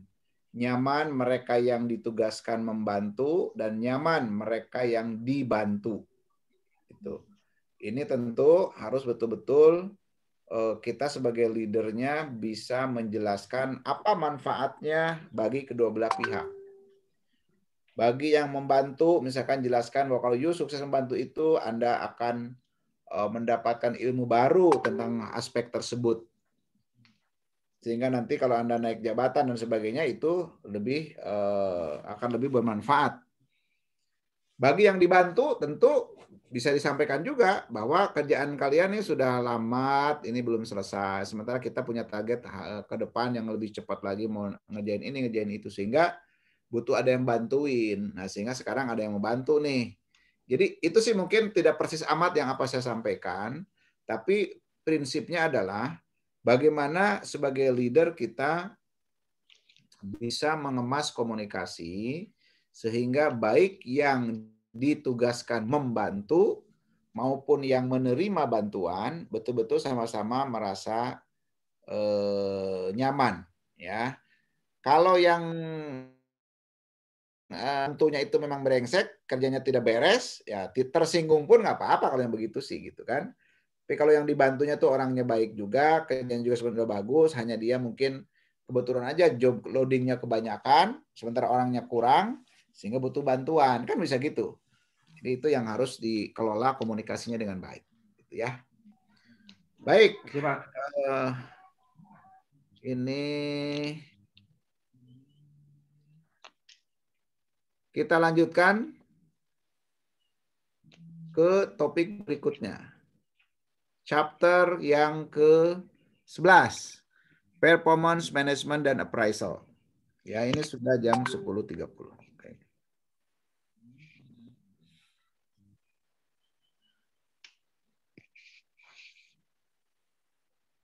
Kalau performance management gampang. Ya, Performance management tuh kayak gini.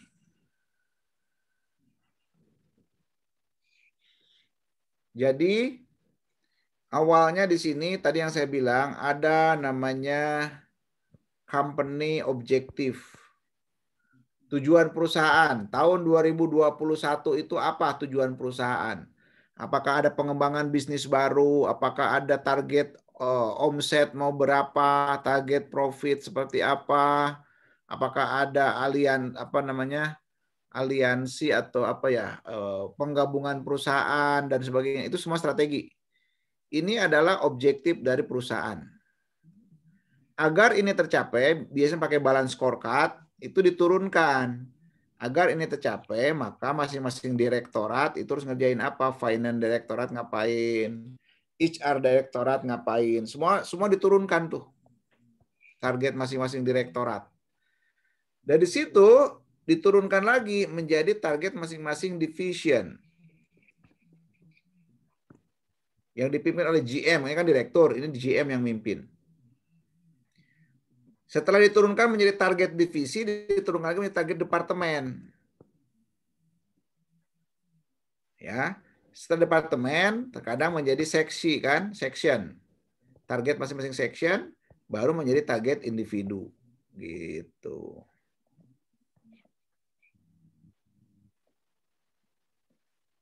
individu individu individu itu kira-kira jadi masing-masing teman-teman di sini memiliki eh, apa yang dikerjakan oleh setiap orang itu mendukung tercapainya tujuan si kepala seksi.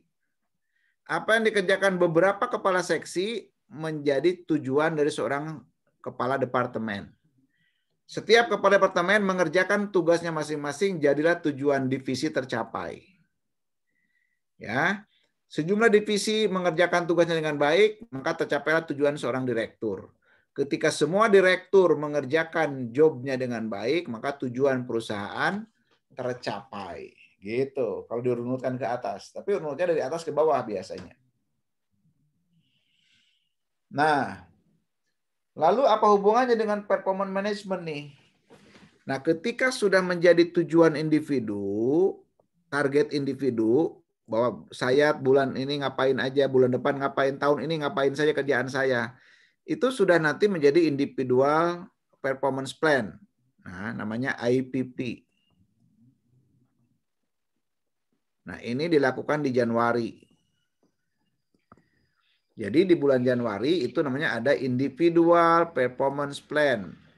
saya itu tahun 2021 ini, ini katakanlah tahun 2021, itu memiliki perencanaan kinerja saya seperti apa berdasarkan pekerjaan yang sudah saya cetak tadi. Ini biasanya kan dengan raker ya, rapat kerja nasional. Biasanya di bulan Oktober November tuh ramai semua perusahaan bikin rapat untuk menentukan target bulan depan eh, tahun depan itu seperti apa. Lalu diturunkan menjadi target masing-masing terus sampai setiap orang punya list uh, project sendiri-sendiri di mana kalau ini semuanya dikerjakan akan membuat kepala seksinya menjadi happy gitu. Nah, individual performance plan inilah yang sebetulnya menjadi kitab awal yang membuat setiap orang itu jelas apa yang akan gua kerjakan 2021. Dan kalau gua sukses akan dapat apa? Itu nanti akan nyambung dengan reward managementnya ada, ya. Lalu setelah tiga bulan muncullah namanya uh, quarterly performance review satu. Ya. Jadi apa yang sudah jalan tiga bulan nanti direview. Ini benar nggak sih yang dikerjakan? Jangan sampai targetnya ngapain, kerjaannya ngapain, nggak nyambung. Gitu. Nanti di tengah tahun muncullah namanya mid-year performance review. Gitu. Jadi dilihat setelah setengah tahun berjalan ini gimana nih? Bener nggak? Jangan-jangan tidak sesuai nih. Jadi di review lagi. Saat di review bisa aja targetnya diturunin atau targetnya dinaikin itu nggak ada masalah. Ya. Setelah review jalan lagi tiga bulan muncul nanti quarterly performance review 2. Ini sama, lebih ke mengecek atasan dengan bawahan bertemu, kepala seksi ketemu dengan anak buah, eh gimana kalian menargetkan ini udah jalan belum? Ada kendala nggak? Begitu, semuanya ketemu dengan atasannya masing-masing. Antara subordinat dengan dengan superior masing-masing. Subordinatnya di staff, maka superiornya adalah kepala seksi. Semua kepala seksi sebagai subordinat, superiornya adalah kadep, kepala departemen. Semua kepala departemen memiliki superior yaitu kepala divisi atau GM dan seterusnya. Ya. Inilah yang akan dikonfirmasi di setiap review ini apakah yang direncanakan oleh masing-masing ini dijalankan tidak. Dan pada akhir tahun November Desember di sini disebut dengan performance appraisal. Nah, ini appraisal. Appraisal itu adalah mengukur keseluruhan selama setahun ini Kalian jalan nggak yang direncanakan? Sehingga nanti muncullah nilai. Si A dapat nilainya A, ada yang dapat nilainya B, ada yang dapat nilainya C, ada yang dapat nilainya itu D. Nah, nanti ada kriterianya nih. Dan ini nyambung dengan tadi yang saya bilang reward manajemennya. Yang dapat A dapat bonus lima kali gaji dan seterusnya dan seterusnya. Ini tidak naik, eh, tidak dapat bonus. Saat kenaikan gaji awal tahun, ini juga pengaruh. Yang nilainya A, dia bisa naik sampai 20% gaji. Yang B hanya 10%, yang C 5%, D tidak naik gaji misalnya. Jadi performance management itu akan efektif kalau dikaitkan dengan reward management. Kalau tidak ada reward managementnya nggak akan efektif. Malah ngapain saya kerja keras, nanti dapat nilai A juga nggak dapat apa-apa kan itu. Jadi Eh, performance management ini harus nyambung dengan reward manajemennya.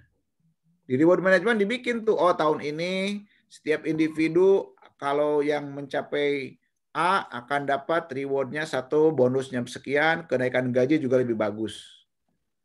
Ada juga yang sifatnya tim reward, ya. Jadi reward bagi tim. Kalau tahun ini kita tercapai target semua yang kita inginkan, tahun ini kita akan sama-sama jalan-jalan ke Bali, gitu misalnya.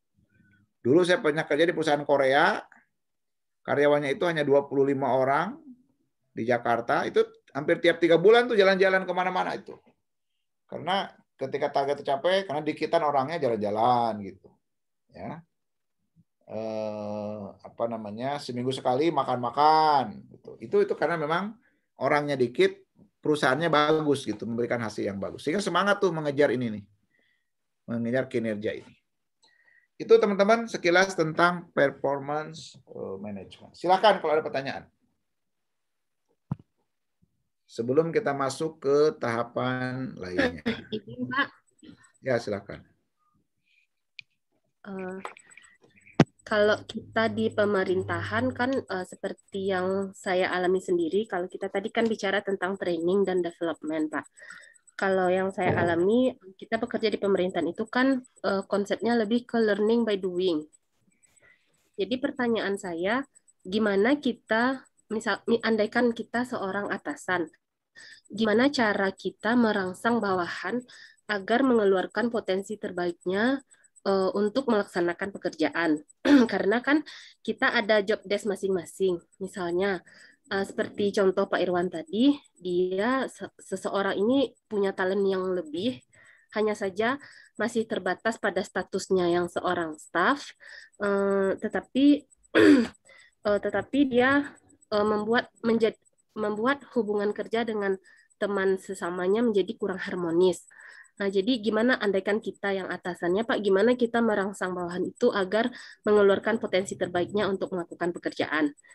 Terus pertanyaan kedua, Pak, andaikan kita yang bawahan, kita punya potensi yang terbaik, yang baik, seperti contoh Pak Irwan tadi, tetapi misalnya uh, uh, dalam tanda kutip uh, atasan kita mungkin potensinya uh, tidak seperti yang uh, diharapkan atau bagaimana uh, gimana cara kita menyikapinya Pak uh, karena kita yang sebagai bawahan itu?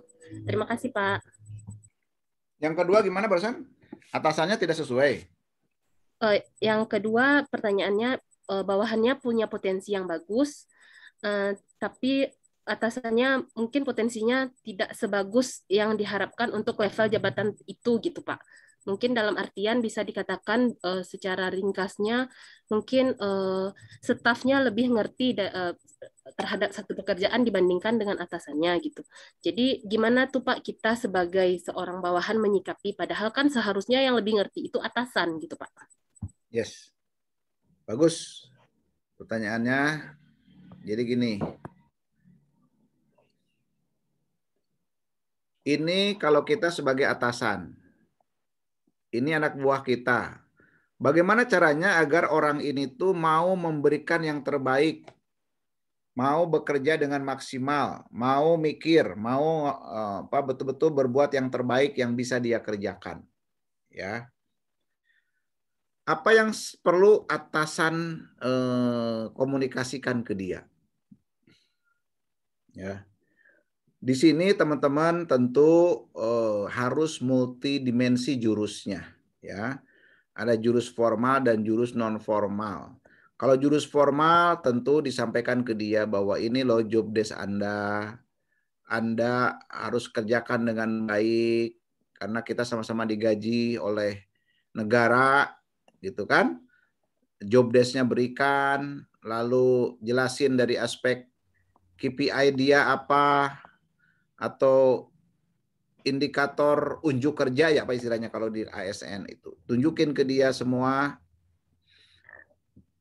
apa plus minusnya kalau dia kinerja baik sama kinerja buruk. Saya nggak tahu apa nih. Harusnya ada nih. Kalau kamu kerjanya bagus, apa konsekuensinya? Apa kalau kerjanya jelek, apa konsekuensinya? Ini secara formal. Satu lagi secara informal. Nah, ini sering saya lakukan itu ke tim. Saya suka sampaikan begini. Teman-teman sekalian, hari ini kita tiap bulan itu dapat duit, dapat gaji. Ingat loh, gaji kita itu bisa menjadi tidak halal kita terima. Padahal ingat itu uang untuk menghidupi anak istri, keluarga dan sebagainya. Tapi ini walaupun gaji kita bisa jadi tidak halal. Kenapa? Kapan menjadi tidak halal? Kalau kita menerima haknya, tapi kewajibannya tidak dijalankan dengan baik. Ini yang perlu disentuh, ini yang perlu diyakinkan ke dia. Mungkin atasan tidak mampu berbuat banyak lagi, rekan-rekan kerja tidak bisa mengingatkan. Tapi Tuhan maha melihat. Kalau you hanya bekerja asal-asalan, sementara uangnya diterima bulat, itu kehalalannya dipertanyakan. Dan ujungnya keberkahannya dipertanyakan. Jangan-jangan gaji kita menjadi kurang halal, bahkan menjadi kurang berkah. Sehingga artinya dibikin untuk sekolah anak, anaknya malah tidak berkualitas. Malah penyakit banyak, masalah ada terus. problem datang terus kan gitu karena tidak berkah hidupnya. Nah, jadi mungkin ini pendekatan yang bisa disampaikan juga dan biasanya ini saya sih ini biasanya work it works. Ya, ini bekerja ini uh, bisa membuat orang menjadi bangkit gitu, disadarkan. Ya, ini kata kita sebagai atasan.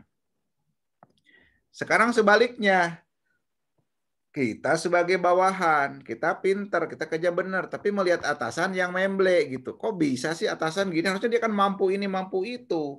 Nah, ada dua pendekatannya juga sama. Kalau secara formal jelasin ke dia, Bu, Pak, ini loh poin-poinnya yang harus diiniin. Bapak kan sebagai leadernya, Bapak. Sampaikan dengan dengan dengan santun tentunya. Tapi ada yang lebih keren lagi, yang informal. Kalau informal itu artinya apa? Udah Tuhan nggak tidur. Kalau kita lihat kita mampu, kita bagus, dan dia tidak mampu, dia banyak kekurangannya, bantu maksimal. Bahkan kalau saya punya prinsip, kalau kita sebagai anak buah, bikin atasan kita tidur. Bantu segalanya. Nggak usah takut, nanti kita akan, uh, oh kok dia yang gede, tapi kerjanya lebih santai, biarin aja.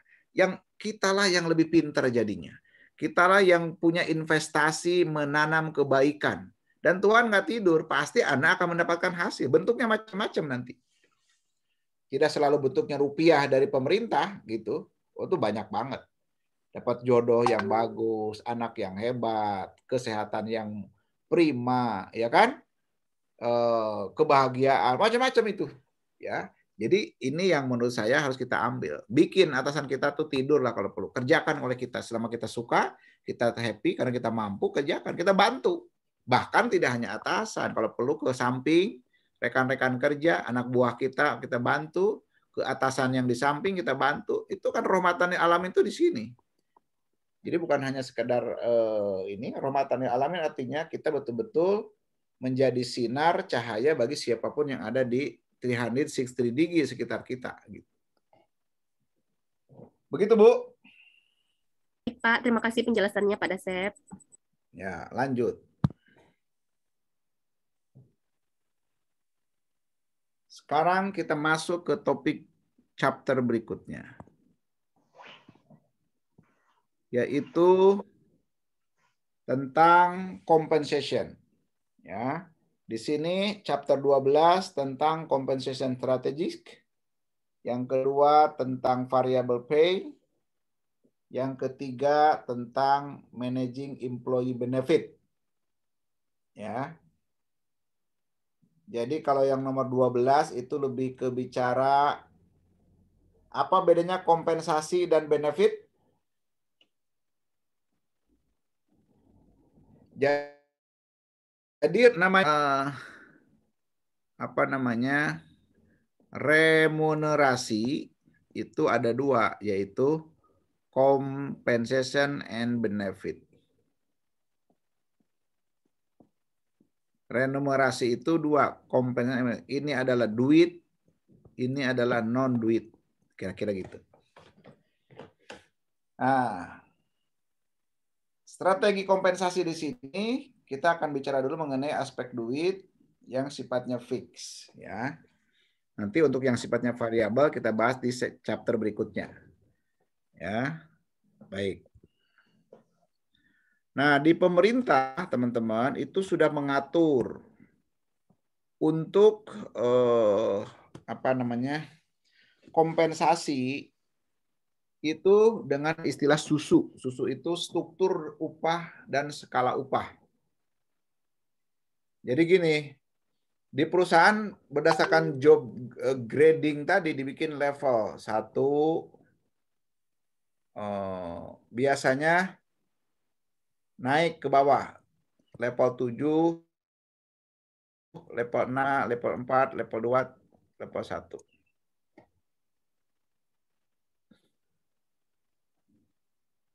Nah, ini misalnya direktur dan GM, ini manajer dan senior eh, apa incas atau apa namanya.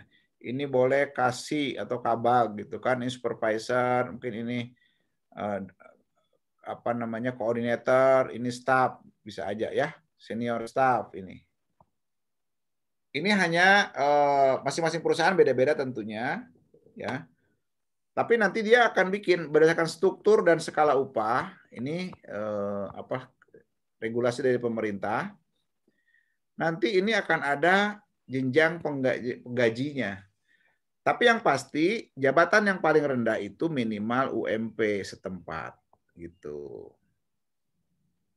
Mungkin lebih tinggi sedikit, Anda bikin UMP plus 100 ribu bisa saja.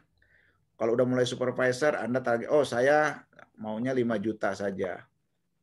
Kalau kepala seksi di sini junior manager, saya mau 10 juta. Ini manajer GM saya mau 30 juta. Direktur mulai 75 eh, juta misalnya gitu ya. Ini dari mana angka-angka ini tentu tergantung kemampuan perusahaan, tapi juga harus lihat di market untuk jenis yang sama. Sama-sama bisnis di, di retail misalnya, itu harus cek. Kalau supervisor di perusahaan lain itu eh, 6 jutaan, kita jangan sampai lebih rendah. Karena kalau kita membayar karyawan kita untuk jabatan sama di bidang industri yang sama, ternyata lebih rendah kita bayar, akan dengan gampang orang kita pindah ke perusahaan lain. Tapi kalau kita punya angka lebih bagus, kan mau rekrut orang juga gampang, mau hijack dari karyawan di perusahaan lain juga bisa. Gitu. Nah, ini harus ditentukan ini harus ditandatangan, ini disimpan karena suatu saat dari Kemenaker, dari Disnaker melakukan kunjungan, visitasi, mau sidak, itu dia akan ngecek mana struktur skala upahnya. Anda harus tunjukkan nih, ini masalah kompensasi. Untuk syarat ke pemerintahnya. Di internal perusahaan sendiri sebetulnya ini sangat penting. Ini sangat penting agar kita bisa membuat organisasi ini semakin sehat Jangan sampai orang dinaikin jabatannya tapi gajinya tetap. Misalnya itu nggak boleh. Kalau orang naik jabatan itu gajinya harus naik. Supaya orang semuanya bercita-cita pengen naik jabatan gitu. Kalau naik jabatan kagak dapat berubah gaji ngapain kerjaan tambah berat. Sementara kompensasi tidak naik gitu. Ya. Ini yang disebut dengan uh, compensation strategik. Ya artinya kenapa dikatakan kompensasi strategi karena ini tidak boleh asal naruh angka. Di mana strategiknya tadi? Cek harga di pasaran untuk jabatan yang sama di perusahaan lain berapa. Di kita mau bagaimana strateginya. Gitu. Ya, jadi tidak sembarangan angka.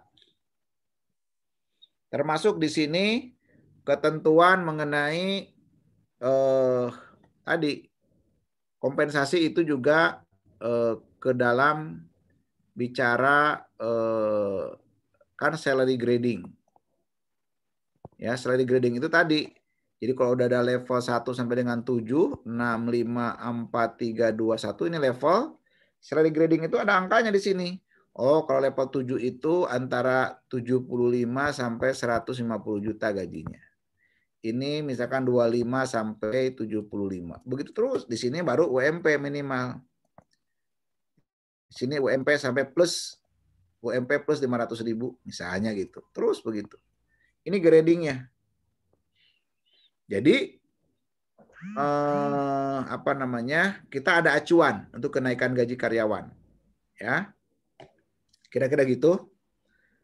Ini bicara compensation. Nah, berikutnya di chapter berikutnya kita ngomong mengenai variabel, variabel uh, income, ya. Di dalam organisasi, teman-teman, ini kita chapter berikutnya ya, itu chapter nomor apa tadi? Uh, variable pay namanya. Variable pay and executive compensation. Ya.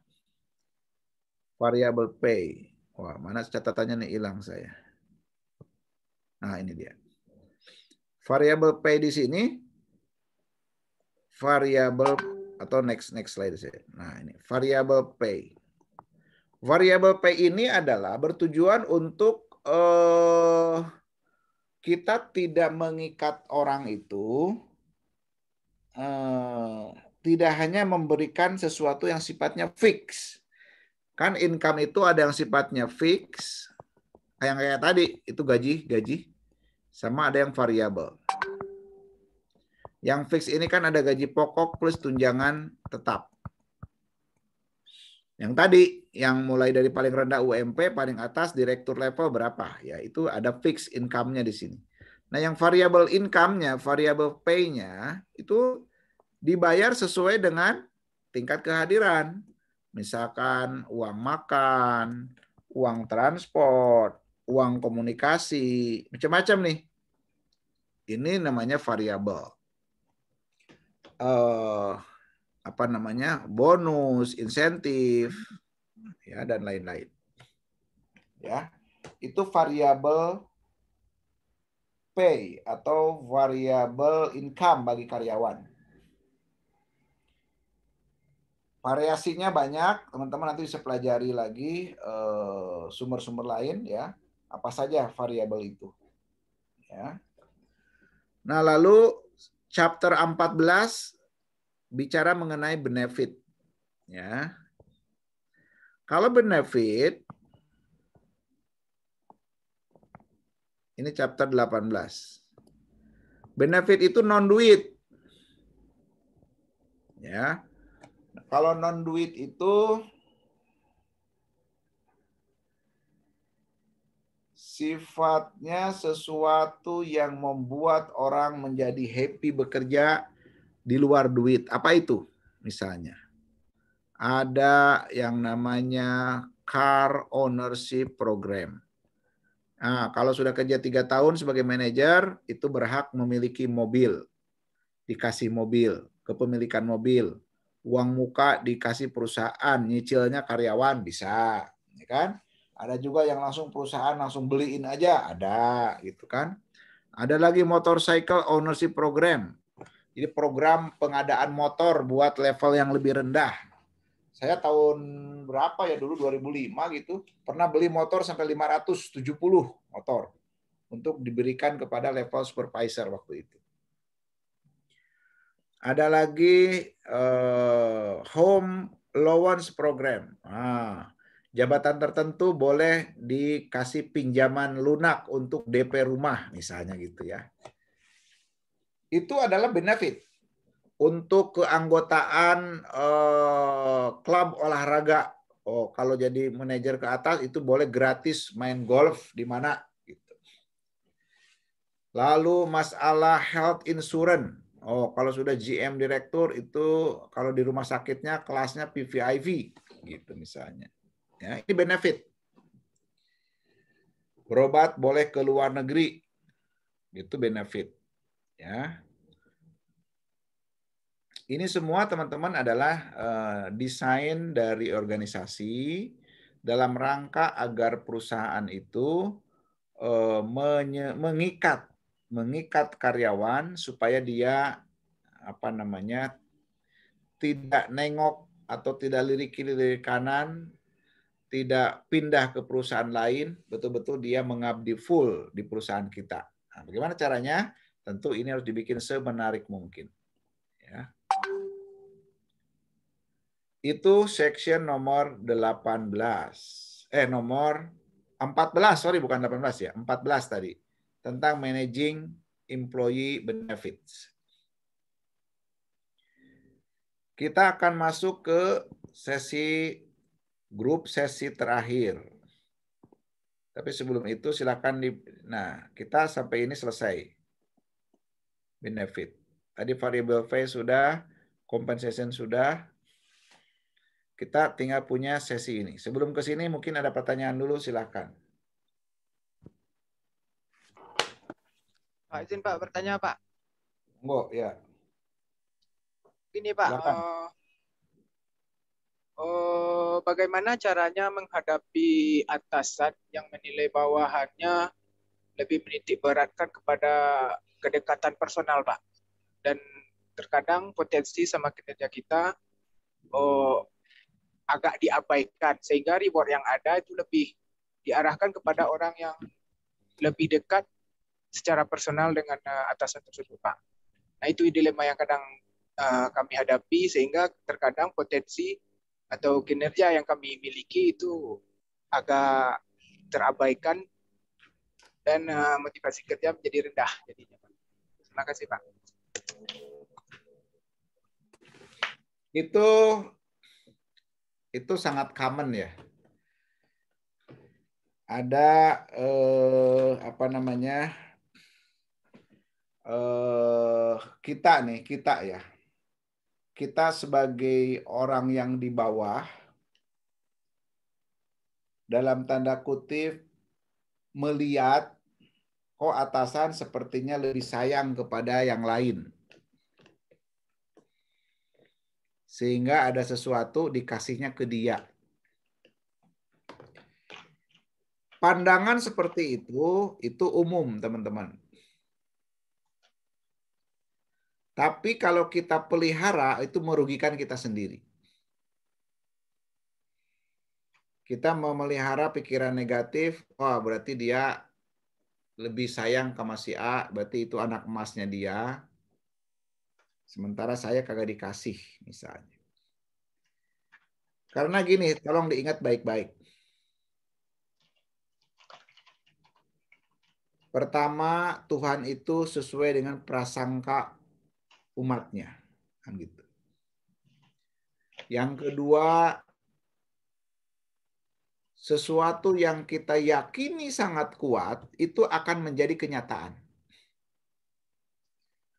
Ada orang yang baik sama Anda, tapi Anda tuh tiap hari, pokoknya dia tuh jelek lah, dia tuh nggak suka sama saya, dia tuh negatif kepada saya. Padahal dia udah baik. Ya. Jadi orang baik kalau kita terus-terusan uh, umpat negatif, itu bisa jadi kenyataan. Dia bisa berubah jadi tidak baik. Begitu juga orang yang tidak baik, tapi Anda tuh positif terus aja, itu juga akan merubah dia. Dan secara agama kan lebih beruntung yang positif thinking. Ya minimal imunitas tubuhnya bagus gitu kan. Mengenai rejeki, aduh kok dia ngasihnya ke si itu terus sih. Ya kalau saya punya keyakinan Tuhan tidak tidur udah. Yang penting apa? Tugas kita kita kerjain, lalu berikan yang terbaik, kasih masukan kepada atasan bahwa Anda juga punya hak untuk mendapatkan itu, karena Anda juga bisa menunjukkan kinerja Anda lebih baik. Udah usaha aja seperti itu, berdoa selesai. Dunia ini sangat luas dan dunia ini banyak rejeki yang cukup untuk semua orang. Nggak usah takut. Rejeki kita itu tidak hanya ada di tangan atasan Anda. Bisa datang dari mana saja. Ya. Kenapa ini penting, teman-teman? Karena kalau Anda memelihara tadi merasa kecewa terus, gelo terus, aduh, bahkan lihat atasan sebel, lihat kawan yang disayanginya juga kita sebel, akhirnya ke kantor juga pusing di rumah juga terbayang terus wajah bos Anda. Mau buka tutup nasi kelihatan wajah bos Anda gitu kan. Bangun tidur terbayang langsung wajah bos Anda. Stres. Kan gitu kalau kita sebel sama orang, benci sama orang begitu tuh. Mendingan kita indah saja. Berbuat yang terbaik, berdoa yang maksimal, usaha yang maksimal, selesai. Udah. Pintu rezeki itu dari mana-mana banyak. Daripada kita memelihara ketidaksukaan tadi itu makan membuat kita semakin eh, tidak produktif. Udah tinggal berpikir yang lain lagi, saya apa lagi nih. Setelah tugas beres, kerjaan beres, melayani dengan baik, ayo pikirkan yang lain. Saya mau bisnis yang lain, saya usaha yang lain. Nah, kalau kitanya doanya juga mujarab, barokah, itu mungkin akhirnya kita ada jalan melalui pasangan kita, punya jalan lain usaha. Anak kita tahu dapat beasiswa yang harusnya bayar mahal, tidak harus bayar. Itu rezeki juga. Orang satu kampung sakit semua, kita sehat, harusnya ngeluarin duit, kita tidak ngeluarin duit. Itu rezeki juga. Jadi rezeki itu tidak hanya berupa rupiah dari dari bos, dari pemerintah, tapi juga terhindar dari musibah juga rezeki. Gitu. Itu yang mungkin harus kita perluas eh, cakupan eh, tentang pemahaman rezeki. Kok saya jadi ceramah ya? Ada yang lain? Izin Bapak. Ya, Bu Mutia. Ya, uh, terkait uh, ada saya ada dua pertanyaan. Yang pertama masalah performance manajemen yang tadi Pak. Uh, tadi kan kita pekerjaan itu diawali dari yang paling bawah ya Pak ya. Sekarang yang jadi masalah seperti ini Pak. Yang namanya kita bawahan, tentu kita harus loyal pada atasan ya Pak. Tetapi pada kenyataannya, misalnya pekerjaan ini harus selesai, harus tercapai tujuan organisasi. Sementara pekerjaan yang kita untuk atasan, bukan atasan langsung Pak. Eh, kita membawa nama organisasi. Eh, sementara pekerjaan yang kita selesaikan, eh, yang bersangkutan tidak tidak terlibat Pak. Jadi ini membuat kita kurang adanya kurang rasa tanggung jawab untuk menyelesaikan dengan alasan yang bersangkutan aja tidak ada rasa tanggung jawab. Sementara kita tujuan kita harus tercapai atas rencana yang telah kita rencanakan ini, Pak. Eh, terkait itu yang namanya sabar tentu ada batasnya ya, Pak ya. Hmm. Jadi bagaimana kita sementara karena dengan keadaan seperti ini di satu sisi kita harus bertanggung jawab, di di sisi yang lain kalau kita lihat orang yang terlibat langsung itu tidak mau uh, tidak mau tahu dengan pekerjaan, sementara pekerjaan ini harus selesai apa tindakan atau apa yang harus kita lakukan sebagai seorang bawahan dalam menyelesaikan pekerjaan ini, Pak. Yang pertama itu, Pak. Yang kedua terkait kompensasi, karena ada aturannya, eh, misalnya seperti insentif, kita tidak bisa mendapatkan insentif dengan beberapa aturan yang menetapkan seperti itu, Pak.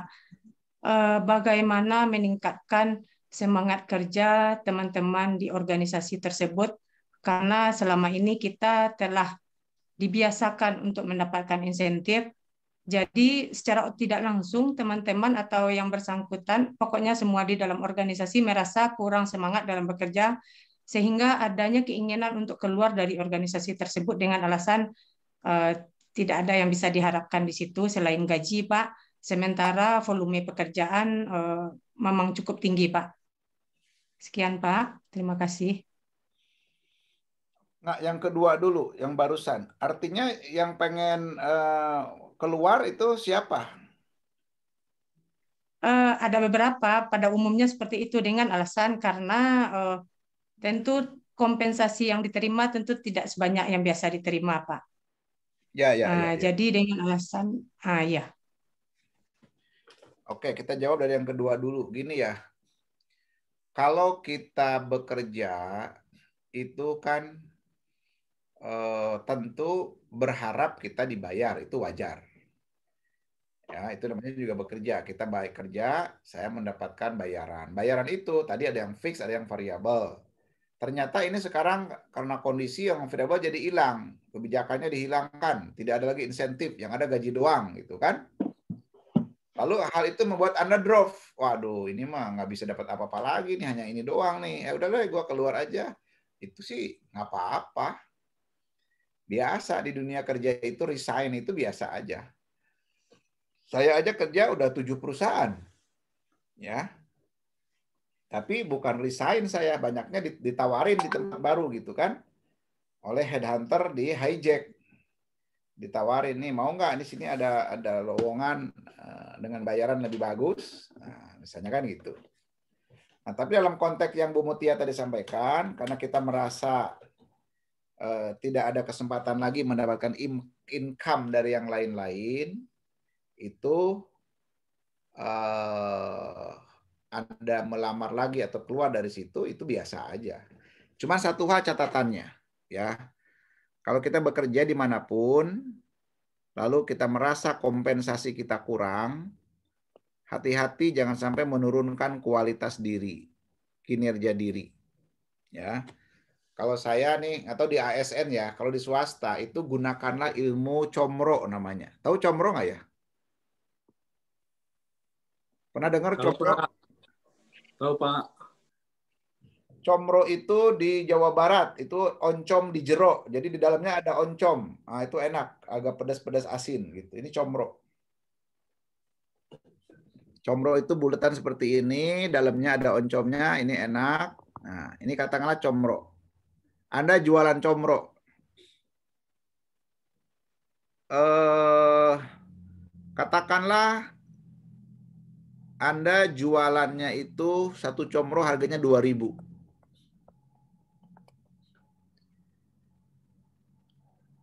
Setelah berjalan lama, bertahun-tahun, Anda mikir, Anda merenung, ih gila comro gue ini kan gede dan enak nih. Masa sih cuma dibayar 2000 doang? Harusnya ini 3000 dong. Kan gitu. Lalu apa yang Anda lakukan? Ya udahlah kan cuma dibayar 2000 doang. Ya udah, gua kurangi dikit tepungnya kurangi. Garamnya dikurangi. Lebih kecil lagi. Pokoknya jadi jadi lebih kecil. Kenapa Anda mengurangi ini semua? Mengurangi kualitas comro Anda karena merasa tadi sekarang ini dibayarnya kurang. Yang menurut Anda wajarnya adalah 3.000. Ini hanya dibayar 2.000 doang. Kira-kira dengan Anda melakukan langkah menurunkan kualitas comro begini, menjadi lebih kecil, menjadi tepungnya kurang, garamnya kurang, oncomnya kurang. Apakah ada orang yang mau bayar 3000? Tidak. Jangankan orang mau bayar 3000. Yang sekarang biasa membayar Anda 2000 pun mungkin sudah tidak mau beli lagi kepada Anda 2000. Kenapa? Karena sekarang lebih kecil, kan gitu? Yang benar bagaimana? Yang benar itu bahkan perbaik terus eh, comro Anda ini. Bikin lebih besar, bikin lebih enak, lebih menarik. Lalu samperin nih ke bos Anda, ke customer Anda. Pak, Bu, comro saya ini gede dan lezat. Masa 2000? Boleh nggak 3000? Kan gitu. Tapi ini dipertahankan nih. Rasanya segala macam. Anda boleh ngomong begitu. Kalau ternyata dia bilang, ah saya nggak mau, saya tetap aja mau 2000. Kan Anda bisa jual ke tempat lain. Eh mau nggak nih, comro gua nih enak, gede nih, mau nggak? Gua mau 3000 nih, kan gitu. Kalau Anda percaya diri dengan comro Anda itu gede dan enak, kan gitu. Ini analogi kita bekerja di perusahaan di swasta. Kalau kita hari ini merasa dibayar gaji kurang, saya gajinya cuma 2 juta. Masa sih harusnya kan saya 3 juta dong gaji saya. Lalu apa yang Anda lakukan? Anda kurangi disiplinnya dikurangi, kualitas kerja Anda Anda kurangi. Kenapa Anda jadi tidak disiplin? Kerjanya jadi nggak semangat. Kan gaji saya cuma 2 juta sih. Saya pengennya 3 juta. Kira-kira dengan Anda menurunkan kualitas diri Anda, yang rugi siapa? Apakah perusahaannya rugi? Tidak. Yang rugi diri Anda sendiri. Ketika Anda menurunkan kualitas diri, perusahaan yang selama ini bayar Anda 2 juta pun mungkin menjadi tidak mau bayar Anda 2 juta, bahkan maunya men PHK Anda. Gitu. Lalu yang benar seperti apa dong? Ah, kalau Anda merasa dibayar kurang, Jangan menurunkan kualitas diri Anda. Perbaiki terus malahan. Perhebat terus prestasi Anda. Bikin perusahaannya itu semakin tercengang melihat karya-karya Anda. Ah. Lalu udah samperin bos Anda. Bos, saya nih kerja udah sekian tahun. nih Kerja saya bagus banget nih lihat hasilnya. Boleh nggak bos saya jangan 2 juta lagi gaji? Boleh nggak saya 3 juta bos? Kan gitu. Siapa tahu bosnya ketika melihat bukti-bukti Anda kerja bagus, dinaikin gajinya. Itu banyak yang begitu. Tapi kalau ternyata Anda ketemu bosnya yang nyebelin misalkan, nggak bisa, pokoknya kamu mau kayak apa juga tetap sekali 2 juta, tetap 2 juta. Gitu misalnya kata bosnya. Apa yang Anda lakukan? Anda jual diri Anda kepada perusahaan lain, bikin lamaran baru. Nih, tunjukin portofolio saya. Saya pernah mampu mengerjakan ini, mampu berbuat itu. Jual ke kalau Anda pede dengan kualitas diri Anda. Gitu.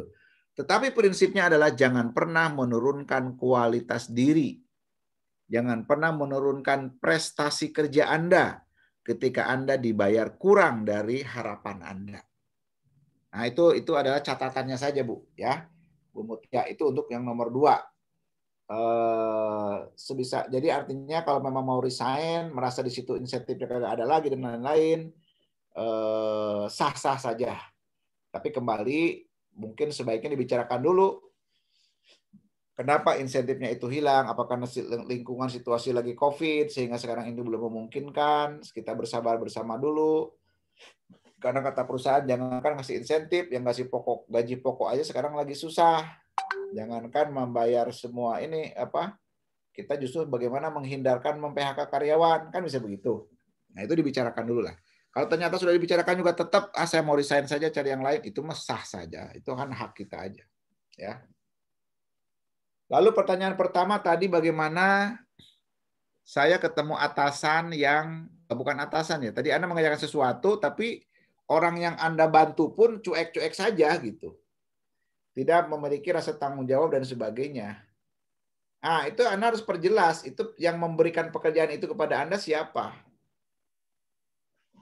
Ya, saya nggak tahu konteksnya bagaimana. Apakah ini bos Anda, lalu ini adalah orang lain, ini adalah Anda, gitu kan? Anda dikasih tugas tambahan oleh bos Anda mengerjakan kerjaan dia, gitu misalnya. Anda habis-habisan kerjanya, ininya santai-santai saja. Karena tinggal komplain ke sini, bos, ini gimana ceritanya? Saya bantu dia, kok dianya tidur-tidur aja. Gitu. Saya nggak tahu ya, ibu konteksnya seperti apa tuh. Bisa diperjelaskan, Bu Mutia? Uh, iya Pak, uh, misalnya kayak gini Pak, uh, misalnya uh, saya uh, ada dua kasubit, kasubit ini sementara yang kasubit atasan langsung saya tidak uh, tidak menyuruh mengerjakan itu, sementara pekerjaan kita ini untuk mencapai suatu tujuan Pak. Jadi pekerjaan ini harus selesai, kita harus mengerjakan bersama-sama. Sementara yang atasan yang satu lagi yang atasan si A ini tidak tahu sama pekerjaannya, dia tidak mau tahu, Pak. Kami lembur sampai berhari-hari di kantor atau gimana, dia tidak mau tahu. Sementara hasilnya akan eh, harus selesai dalam waktu yang telah ditentukan, Pak. Jadi kalau dilihat seperti itu, secara tidak langsung eh, kita kurang ada kurangnya rasa tanggung jawab kita untuk bekerja, Pak. Sebagai bawahan, rasanya eh, atasan dia aja tidak bertanggung jawab dengan pekerjaan sementara pekerjaan ini harus selesai itu Pak. Ya. Uh, mungkin saya tidak bisa memberikan uh, saran yang lebih uh, detail karena tentu ini sangat kontekstual. Artinya uh, harus tahu betul permasalahannya seperti apa. Cuman saya hanya bisa memberikan gambaran umum saja bahwa organisasi itu satu kesatuan. Ya setiap bagian harus menyadari fungsi dan tugasnya masing-masing. Seperti hanya tubuh, ya, tangan, kaki, semuanya memiliki fungsi sendiri-sendiri nih. Tapi kalau satu aja tidak berfungsi dengan baik, akan mengganggu kinerja keseluruhan. Oleh karena itu, harus jelas siapa pucuk-pucuk pimpinannya, ibu harus tahu dia, lalu kasih feedback ke dia. Pak, Bu, ini tugas kita bersama. Tapi si ini itu tidak menjalankan tugasnya. Tolong dibantu diingatkan. Kan pasti ada atasan-atasannya lagi. Ini yang harus jadi pegangan. Ingat tujuan ujung akhirnya adalah tujuan bersama tercapai. Kalau yang satu tidak menjalankan fungsinya akan membuat bebannya pindah ke yang lain. Kan gitu. Yang lain tambah stres, dianya nyantai-nyantai kan gitu. Menurut saya di organisasi apa pun harusnya ada orang paling atasnya di sini yang bisa Ibu temui, bisa disampaikan, tapi bukan dalam konteks mengadu ya, dalam konteks bercerita bahwa saya tetap bekerja yang terbaik, saya memberikan kontribusi yang terbaik, tapi tolong ini dicek bahwa yang punya kerjaannya, yang punya tanggung jawabnya kok dia tidak peduli dan sebagainya. Misalnya seperti itu. Tentu dengan cara yang baik ya, tidak boleh kita terkesan mengadu. Itu mungkin Bu eh, apa namanya saran umum dari saya ya. Ya, ya terima kasih Pak. Baik. Kita masuk ke bagian terakhir, yaitu chapter 15, 16, 17, dan 18. Di sini lebih ke tentang employee relation dan global HR. Ya. Chapter 15 itu HSS. Ya, health, safety and security. Ini chapter 15 health, safety, and security. Ada juga yang orang menyebutnya health, safety, uh, environment, HSE ya. Intinya lebih ke arah kesehatan, lebih ke arah uh, keamanan dan masalah lingkungan ya. Kesehatan dulu. Kesehatan ini ada yang sifatnya basic ya Pastikan karyawan semua masuk BPJS. Kan basic nih. BPJS ada berapa?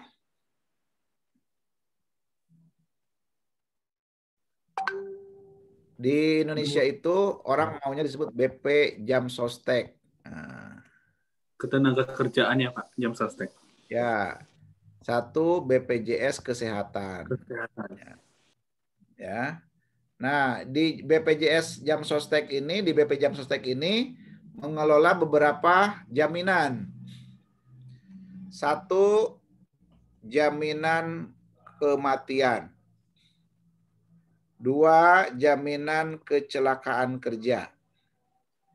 Tiga, jaminan hari tua. Keempat, jaminan pensiun. Sekarang di Undang-Undang Cipta Kerja yang baru ada yang kelima. Apa?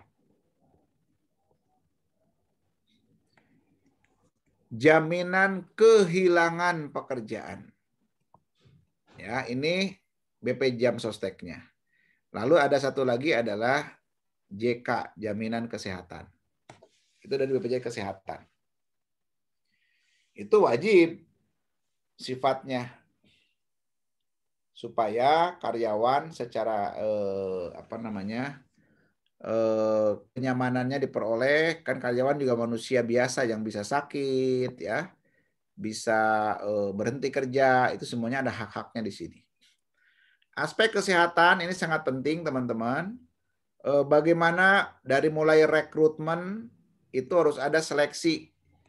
Ketika proses seleksi karyawan tadi, pastikan karyawan yang direkrut itu sehat. Makanya harus ada bukti. Kenapa? Jangan sampai dia ternyata punya riwayat TBC misalnya. Masuk ke perusahaan. Akhirnya apa? Dia di dalam perusahaan menulari karyawan yang lain. Nah, ini aspek kesehatan nih. Pastikan rekrutmen dengan benar. Lalu ada yang namanya general check up reguler. Jadi mungkin setahun sekali, dua tahun sekali itu seluruh karyawan yang udah senior senior dicek jantung, dicek darah tingginya segala macam itu semuanya dilakukan. Nah, itu kesehatan. Lalu yang kedua safety. Safety ini keselamatan. Nah, ini penting banget kalau Anda punya kantor, harus jelas keselamatan itu dalam eh, penataan ruangan, penataan gedungnya, pintunya, jangan sampai pintu pintu hanya satu doang. Pintu terus jelas pintu masuk mana, pintu keluar mana. Yang sampai kalau pintu satu doang ada kebakaran di daerah sini, orangnya matang semua di dalam kan itu evakuasi jelas jalurnya ke mana, kalau safety itu, kalau kebakaran bagaimana, gempa bumi bagaimana, banjir bagaimana, itu harus dibahas oleh safety. Harus ada secara reguler eh, training pemadaman kebakaran. Semua orang di dalam masih kasih tahu kalau ternyata bunyi sirine begini harus larinya ke mana. Itu macam-macam. Itu safety. Ya. Uh, uh, apalagi environment. Environment ini lebih ke lingkungan. Kalau perusahaan Anda ada limbahnya, limbah air, pastikan air yang keluar dari perusahaan Anda itu tidak merusak lingkungan. Bisa berupa air, bisa berupa bising, suara. Kan ada tuh pabrik-pabrik yang bising gitu, lingkungannya tersing, eh, apa komplain. Itu hati-hati tidak boleh. Itu enak environment harus dijaga. Masalah air, masalah suara kebisingan, masalah udara, misalkan udaranya jadi berdebu, udaranya menjadi eh, kotor, nah itu tidak boleh. Ya. Ini hal-hal yang harus menjadi perhatian bagian kepegawaian, bagian HRD di dalam mengelola HSE, Health, Safety and Environment. Gitu ya. Ini kita bahas di chapter ke-15. Masuk ke chapter 16. Apa chapter 16? Employee right ya. Ini employee right sebetulnya lebih ke employee relation ya bagaimana uh, employee relation di sini uh,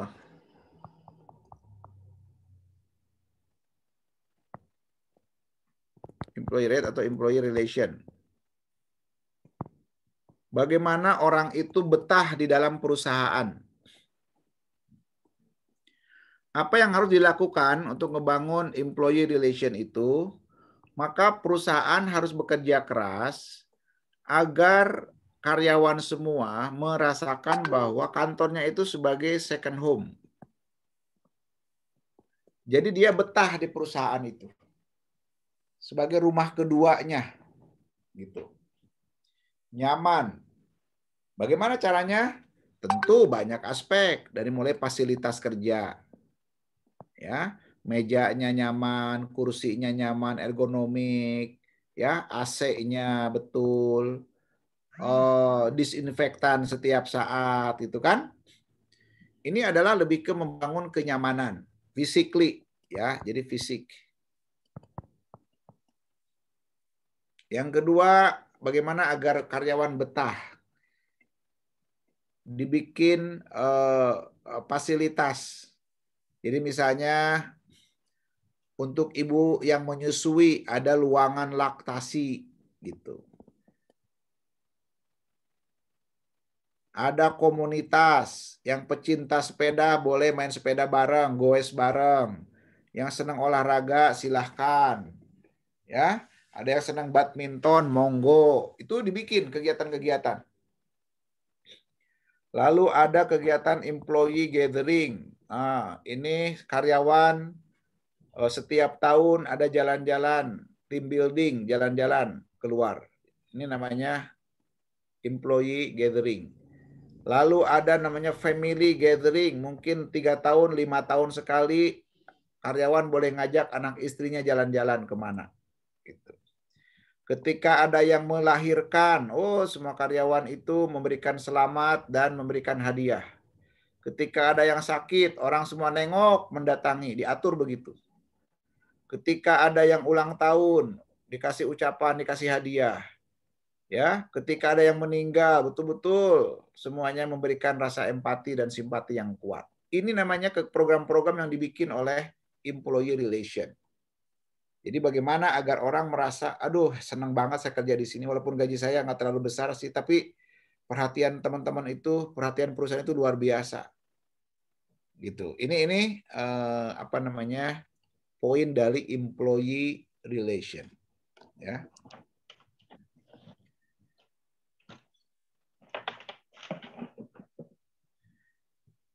Next chapter 17. Nah, sebelum ke situ tidak pertanyaan dulu silakan. Kita masih punya dua chapter lagi. Chapter dua lagi yang belum selesai adalah Union Management atau Industrial eh, sorry. Union Management di sini sama Globalization of HR. Dua lagi. Tapi sebelum ke sini silakan ada mungkin yang mau ditanyakan dulu.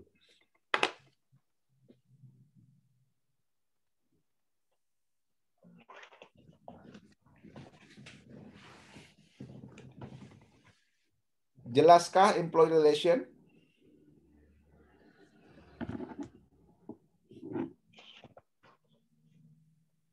Dibikin koperasi karyawan. Saya dulu tahun 2000 berapa ya? 16.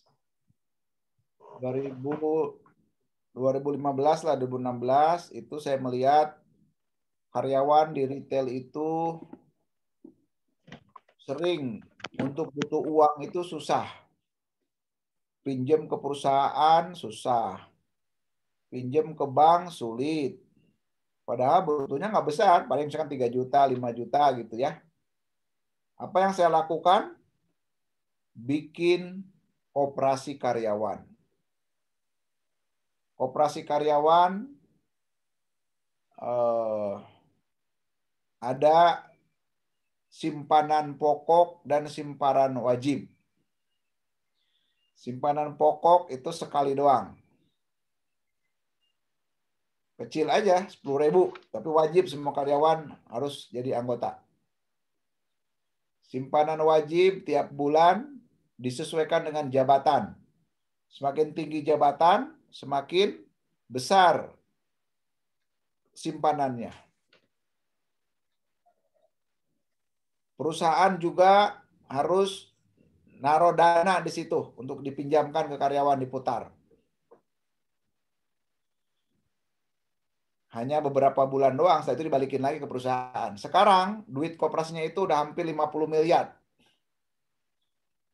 Dan karyawan dari ujung Aceh sampai Ambon ke sana semuanya dengan mudah kalau mau pinjam uang sekarang.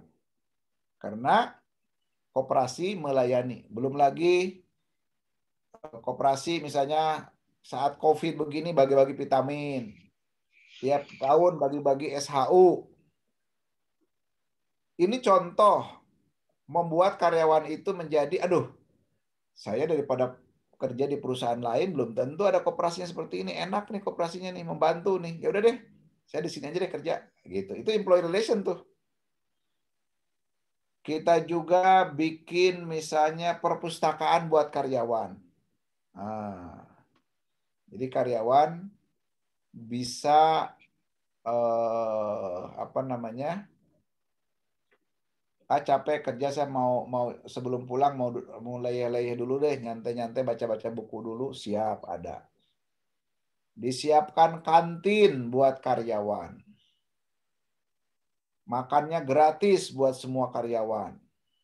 Nah ini program-program employee relation tadi.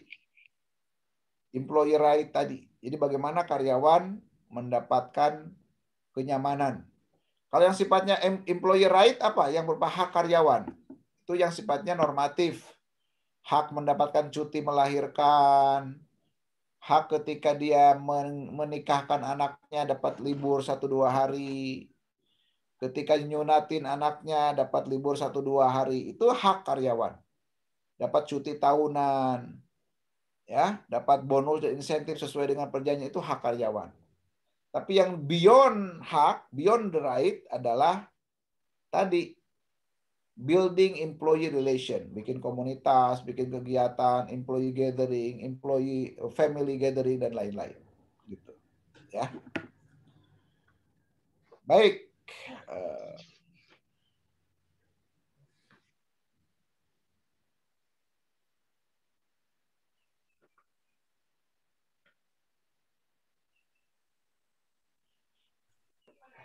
Izin Pak.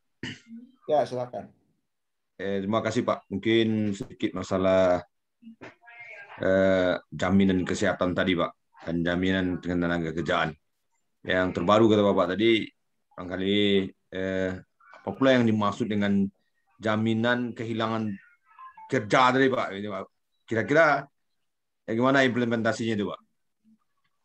Kehilangan kerja itu gimana jaminan maksudnya Pak? Terima kasih Pak.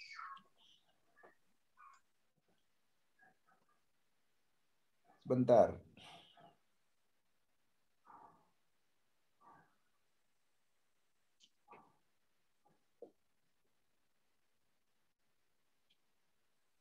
Ini ada berita buruk bahwa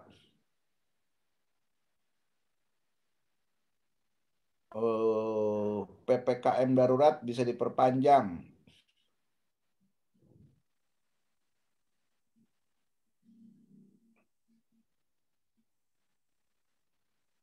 sampai uh, Agustus.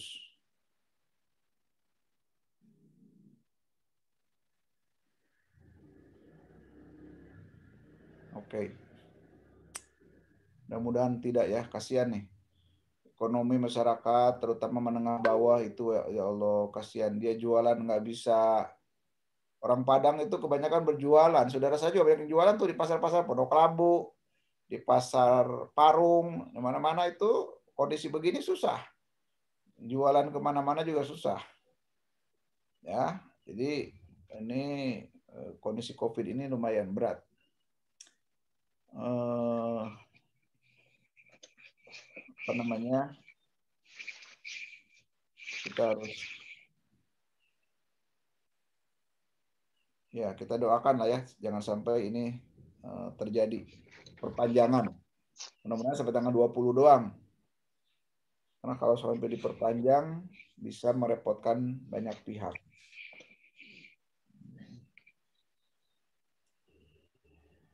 Oke. Tadi pertanyaan mengenai jaminan kehilangan pekerjaan dari Pak siapa? Aldi ya. Pak Aldi Jasmen. Iya, Pak. Jaminan kehilangan pekerjaan itu baru muncul di Undang-Undang Cipta Kerja yang baru di Undang-Undang Nomor 11 tahun 2021. Jadi di dalam Undang-Undang Cipta Kerja itu hal baru yang muncul adalah yang di kontrak kerja atau PKWT tadi, dia hanya dapat gaji bulanan saja. Setelah selesai kontrak, udah say goodbye, thank you, udah selesai. Itu dulu. Sekarang nggak demikian lagi. Bagi karyawan yang kontrak, itu dia akan mendapatkan JKP tadi, jaminan kehilangan pekerjaan. Jadi kalau dia dikontrak satu tahun, ketika sudah satu tahun itu habis, dia akan mendapatkan tambahan lagi satu kali gaji. Itu, itu namanya jaminan kehilangan pekerjaan. Jadi perusahaan wajib memberikan satu kali gaji lagi kepada si karyawan itu eh, karena dia sudah bekerja di kontrak satu tahun. Pak, bagaimana kalau di kontrak satu tahun tapi baru enam bulan diberhentikan? Dia dapatnya 6 per 12 kali satu kali gaji. Jadi setengahnya dapat. Kalau di kontraknya tiga tahun gimana Pak? Di akhir tahun ketiga dia dapat tiga kali gaji. Itu namanya jaminan kehilangan pekerjaan. Ya, JKP. Jelas?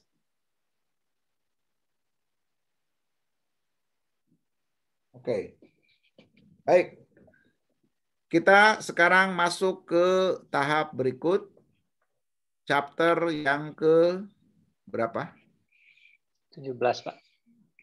17, yaitu union management.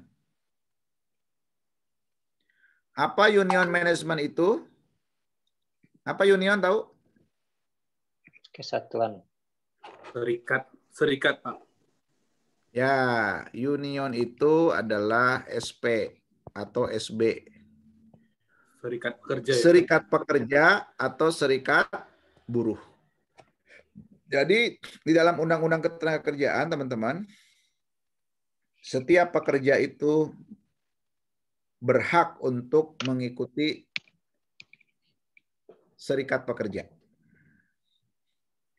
Dan perusahaan dilarang keras untuk melarang pekerjanya mengikuti atau bergabung ke dalam serikat pekerja.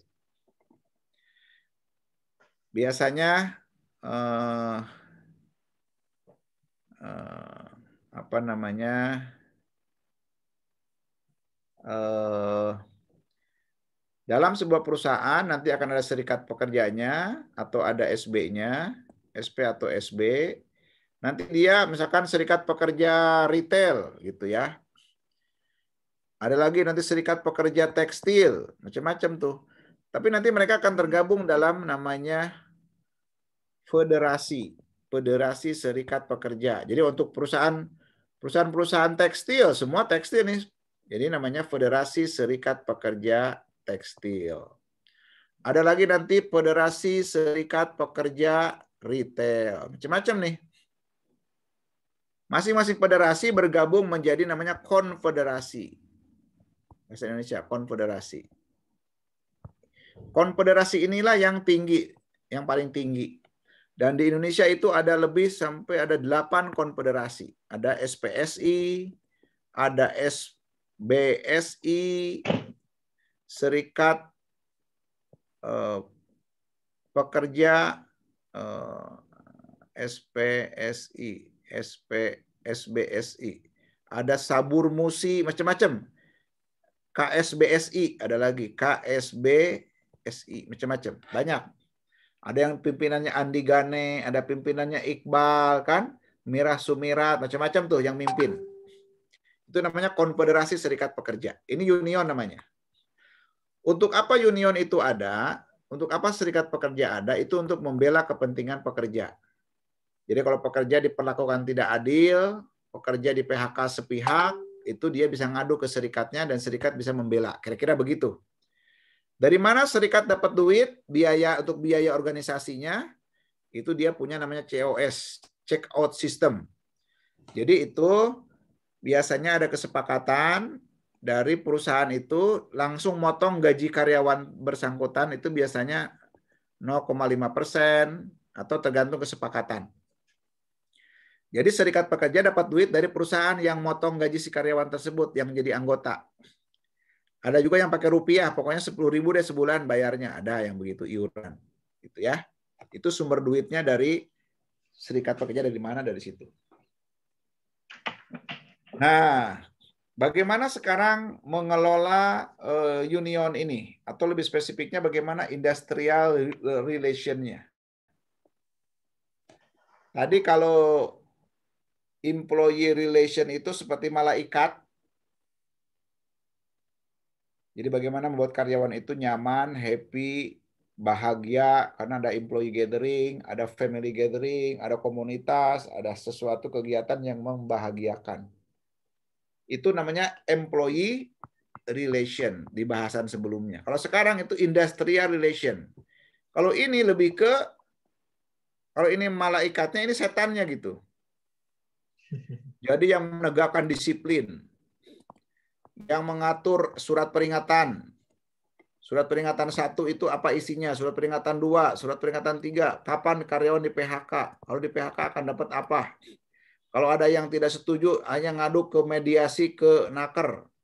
Kalau di naker tidak naik naik ke PHI, pengadilan hubungan industrial. Wah, ini semuanya itu dikelola oleh industrial relation. Ya. Itu kira-kira kaitan dengan industrial relation. Nah, teman-teman sekalian, di sini penting perusahaan harus menegakkan industrial relation ini uh, karena industrial relation ini biasanya juga harus menangkap regulasi-regulasi dari pemerintah. Jadi aturan-aturan dari ketenaga kerjaan dia harus update, dia harus tanya. Lalu uh, dia harus menjalankan, harus bikin PP. Apa PP itu? PP itu peraturan perusahaan, ya. Kalau perusahaan yang tidak ada serikat pekerjanya namanya PP. Tapi kalau perusahaan yang ada serikat pekerjanya PKB namanya. Perjanjian kerja bersama. Karena di sini ada dengan serikat bekerja sama nih. Ya, nanti ujian keluar tuh apa bedanya PP dengan PKB. Nah, dikasih bocoran. Ya. PP adalah peraturan perusahaan yang tidak ada serikat pekerjanya, jadi hanya ada perwakilan karyawan doang yang bikin bersama perusahaan. Sedangkan PKB adalah peraturan perusahaan yang dibuat bagi perusahaan yang ada serikat pekerjanya. Gitu. Apa isi peraturan perusahaan atau PKB itu? Baik PP maupun PKB isinya sama, menyangkut hak dan kewajiban karyawan, mengenai eh, apa namanya pelanggaran-pelanggaran.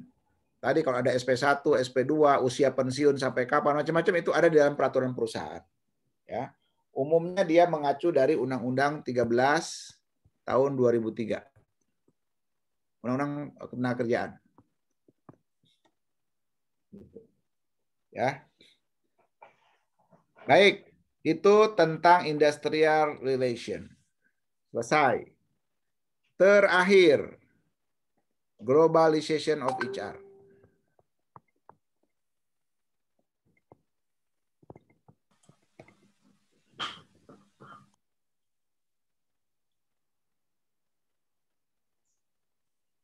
Globalization di sini ada beberapa poin yang harus menjadi concern bagian kepegawaian atau bagian SDM atau praktisi SDM ya globalization of HR. Jadi bagaimana sekarang itu kita menghadapi pertama isu tentang uh, apa namanya diversity.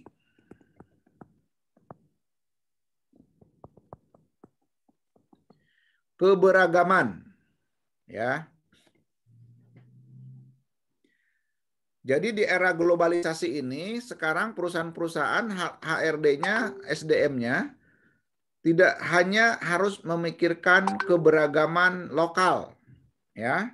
Sekarang kita harus bisa ngatur nih bagaimana ngatur kalau karyawannya ada karyawannya orang Jepang, karyawannya orang Korea, karyawan orang China, itu harus dikelola dengan baik karena budayanya beda. Kebiasaannya beda. Jadi tidak hanya karyawannya itu orang Indonesia doang. Ya. Belum lagi eh, aturan-aturan kalau mereka ngelamar ke kita bagaimana perjanjian kerjanya seperti apa. Kalau mereka di, di PHK apakah wajib dipulangkan ke luar negeri dan sebagainya. Ini semuanya adalah masalah diversity. Bagaimana ngebangun kekompakan dengan orang lokal, Bagaimana ngatur kompensasinya kan jangan sampai iri-irian, orang asing dibayar lebih mahal, orang lokal lebih kecil. Ini harus diatur semua nih dari aspek diversity. Yang kedua ada dari aspek globalisasi ini adalah masalah teknologi yang semakin uh, go 4.0 dan juga digitalisasi.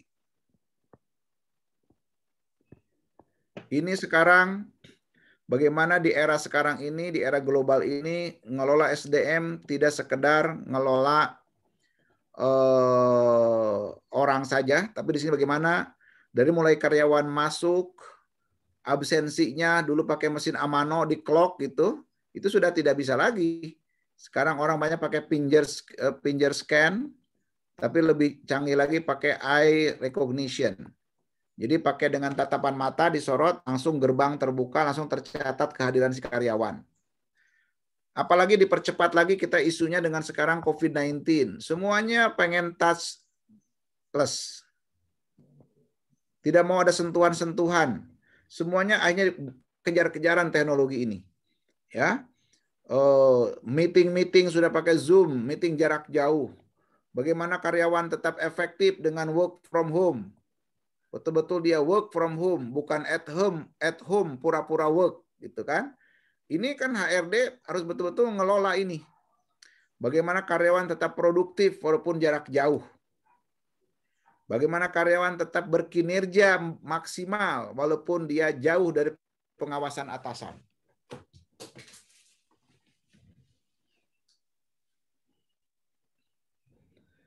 Sehingga hari ini Dulu orang sering mengatakan HRM itu adalah Human Resources Management.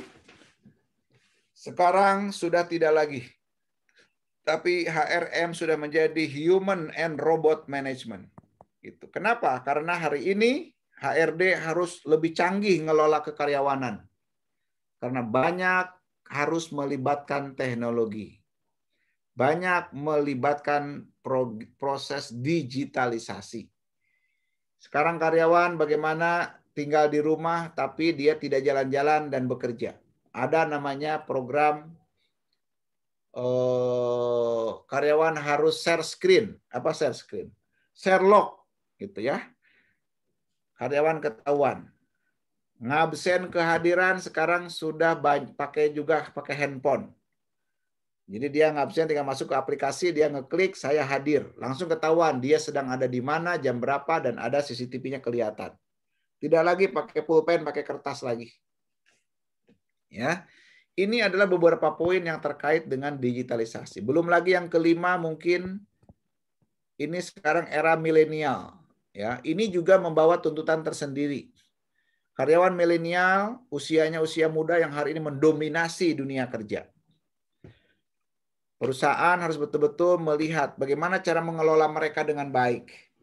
Bagaimana cara membuat potensi mereka termaksimalkan oleh perusahaan. Ya. Karena beda milenial dengan kolonial. Kalau orang-orang kolonial yang udah tua-tua itu ya biasa aja gitu kan. Betah aja kerja. Tapi kalau yang milenial itu enggak, dia nggak nyaman dikit pindah, pergi, kabur ke perusahaan lain gitu ya. Inilah sejumlah catatan yang menurut saya perlu menjadi concern kita di dalam mengelola globalization of HR. Baik, teman-teman. Selesai sudah poin-poin bahasan kita ada 18 chapter ini ya. Uh, udah kita bahas semua satu demi satu. Tentu saya tidak bisa lebih detail lagi karena waktu kita terbatas, tetapi Secara keseluruhan poin-poin pentingnya sudah kita bahas. Secara keseluruhan pokok-pokok pentingnya sudah kita bicarakan. Tinggal teman-teman sekarang eh, bagaimana mencoba membuat eh, detail masing-masing 3 sampai 5 slide. Silakan dilengkapi dari berbagai sumber. Kalau ketahuan ada yang sama, maka gugur nilainya sama-sama, ya. Jadi harus betul-betul independen, bikin sendiri, ya. Teman-teman hanya akan mempresentasikan satu chapter saja. Ya. Mungkin itu yang bisa kita bahas pada hari ini. Bila ada pertanyaan, silahkan. Izin bertanya, Izin, Pak. Pak. Izin, Pak. Ya, siapa dulu nih? Serar. Ya, Pak. Saya duluan, Izin izin dulu, Fanto. Ya, sesuai umur, sesuai umur. Ya. Pak Langsung, okay. Iya, silakan Pak. Ya. ya. Oke Pak, Pak. Oke Pak, makasih Pak. Assalamualaikum warahmatullahi wabarakatuh. Salam. Uh, ini mengenai apa tadi Pak Serikat Pekerja. Ada uh, apa kemarin yang jadi isu nasional mengenai uh, pegawai KPK uh, mengenai pemberhentian Nopal Waswedan uh, dan teman-teman yang kira-kira uh, di dianalogikan bahwa itu adalah satu grup uh, kalau di apa di perusahaan itu namanya adalah serikat pekerja. Tapi kalau saya dengar itu kalau di KPK namanya adalah wadah pegawai. Yang selama ini adalah Novel Wasbedan sebagai ketuanya. Kira-kira ini bagaimana pandangan Bapak mengenai hal ini terkait dengan Undang-Undang Nomor 13 Tahun 2003 Undang-Undang Nomor 13 Tahun 2003 tentang ketenagakerjaan. Apakah dibolehkan itu namanya wadah pegawai apakah atau itu serikat bekerja mungkin itu Pak mohon penjelasannya Pak. Makasih. Ya yang saya tahu serikat pekerja itu ada memang di dunia swasta ya. Di pegawai negeri saya nggak tahu regulasinya seperti apa tapi kalau BUMN biasanya ada ya kalau BUMN misalkan ikatan karyawan Garuda gitu ikatan karyawan PLN gitu ya kalau di setahu saya kalau di eh, BUMN itu ada juga. Tentu itu hak karena hak berserikat itu sebetulnya bukan hanya haknya si karyawan, siapa pun punya hak. Ya. Cuman mungkin kalau ASN karena sifatnya melayani masyarakat itu ada ketentuan tersendiri sepertinya. Eh, kayak termasuk KPK ya. Bagaimana mereka berserikat eh, itu bisa Eh, sah atau tidak, saya belum melihat tuh ininya regulasinya. Bagaimana ASN itu berserikatnya. Harusnya punya hak yang sama, hanya karena pot, eh, karena apa namanya utamanya lebih ke melayani kebutuhan masyarakat, harusnya ada catatan tambahan. Contoh di swasta juga kalau bagi security itu juga dilarang untuk berserikat. Karena security atau satpam itu dia uh, bertugas menjaga keamanan perusahaan. Kalau dianya ikut demo nanti gimana ceritanya gitu kan? Siapa yang melindungi perusahaan gitu. Jadi jawaban saya adalah mungkin coba dicek lebih jauh uh, bagaimana keabsahan serikat di KPK itu apa pun itu namanya karena biasanya kalau di BUMN itu ada tapi kalau di ASN setahu saya harus ada catatan tersendiri mungkin. Karena kalau ASN-nya demo nanti gimana? Semua. Pelayanan masyarakatnya akan terganggu. Gitu Pak Israr. Ya, oke Pak, makasih Pak. Lanjut Pak Ovanto. Terima kasih Pak untuk waktunya. Uh, mungkin saya akan uh, terfokus kepada isu yang terakhir Pak, yaitu globalization in HR jadi kan ada beberapa tantangan nih di HR challenge-nya sendiri di globalis di dunia yang penuh tantangan seperti sekarang ini. Seperti uh, penyesuaian tadi penyesuaian kalangan generasinya. Yang kedua uh, mungkin dari perubahan undang-undang ketenaga kerjaannya sendiri. Ini kan menjadi tantangan untuk para HR nah uh, untuk ukuran kerja HR-nya sendiri mungkin di awal tahun sudah dirancang ya Pak untuk satu tahunnya kira-kira uh, apa aja yang harus dilakukan dan nantinya akan dievaluasi. Nah, menurut uh, ukuran untuk pengukuran aktivitas uh, untuk HR-nya itu kalau secara yang baiknya dari ukuran berapa Pak? Kita katakan sajalah ukurannya 0 sampai 100. Kira-kira untuk pencapaian dari ukuran efektivitas HR sendiri secara umum uh, berapa persen Pak? Kalau misalnya dikatakan lah kalau kelompok uh, efektivitas HR-nya ini 50% ke atas itu sudah efektif atau bagaimana Pak? Terima kasih, Pak. Ya. HR itu posisi yang sangat penting karena dialah yang memiliki tanggung jawab fokus kepada orang. Dan ingat, kehebatan perusahaan itu, kehebatan organisasi kan tergantung kualitas orangnya. Oleh karena itu, kinerja HR itu harus bagus. Nah, oleh karena itu juga Kementerian Tenaga Kerja sudah membuat ketentuan bahwa seluruh karyawan, seluruh profesional di Indonesia itu harus sertifikasi, harus certified. Dan yang didahulukan sekarang sudah diwajibkan itu adalah bagian HRD-nya. Jadi seluruh Indonesia sudah ada SKKNI-nya, sudah diwajibkan mulai tahun lalu itu kita Eh, bagian SDM itu harus sertifikasi SDM. Supaya apa? Supaya mereka kinerjanya bagus. Jangan sampai orang SDM misalnya bagian industrial relation, tapi ketika mem-PHK karyawan tidak tahu aturan PHK kayak apa. Bagaimana hak-hak karyawan, bagaimana bermediasi di di snaker, bagaimana bersidang di PPHI, di Pengadilan Hukum Industrial. Nah, kalau orang HRD-nya bengong-bengong begitu, maka kualitas keseluruhan karyawannya tidak akan beres. Harus sertifikasi, rekrutmennya harus sertifikasi, sehingga dia bisa merekrut dengan bagus. Orang trainingnya harus sertifikasi gitu. Bagian lain semua perlu sertifikasi, tapi saking pentingnya SDM itu didahulukan. Gitu. Kinerjanya berapa yang wajar? Ya, kalau tergantung standar perusahaan. Kalau perusahaannya mau excellent ya minimal di 90% gitu kan. SDM-nya harus excellent. Gitu kira-kira. Ya oleh karena itu sekarang diwajibkan SDM harus tersertifikasi. Gitu Pak Ovanto. Iya Pak, thank you Pak. Uh, mungkin uh, sedikit lagi mungkin Pak. rata ya. Rata-rata kan Pak untuk uh, karyawan yang direkrut untuk menjadi seorang HR itu adalah kebanyakan nih yang saya lihat adalah dari jurusan psikologi atau uh, dari hukum, Pak. Bagaimana uh, menurut pandangan Bapak? Ini saya uh, personal experience ya, Pak. Pengalaman pribadi. Jadi HR-nya itu diangkat dari karyawan senior yang ada di tempat saya bekerja. Dia tidak punya background hukum ataupun background psikologi.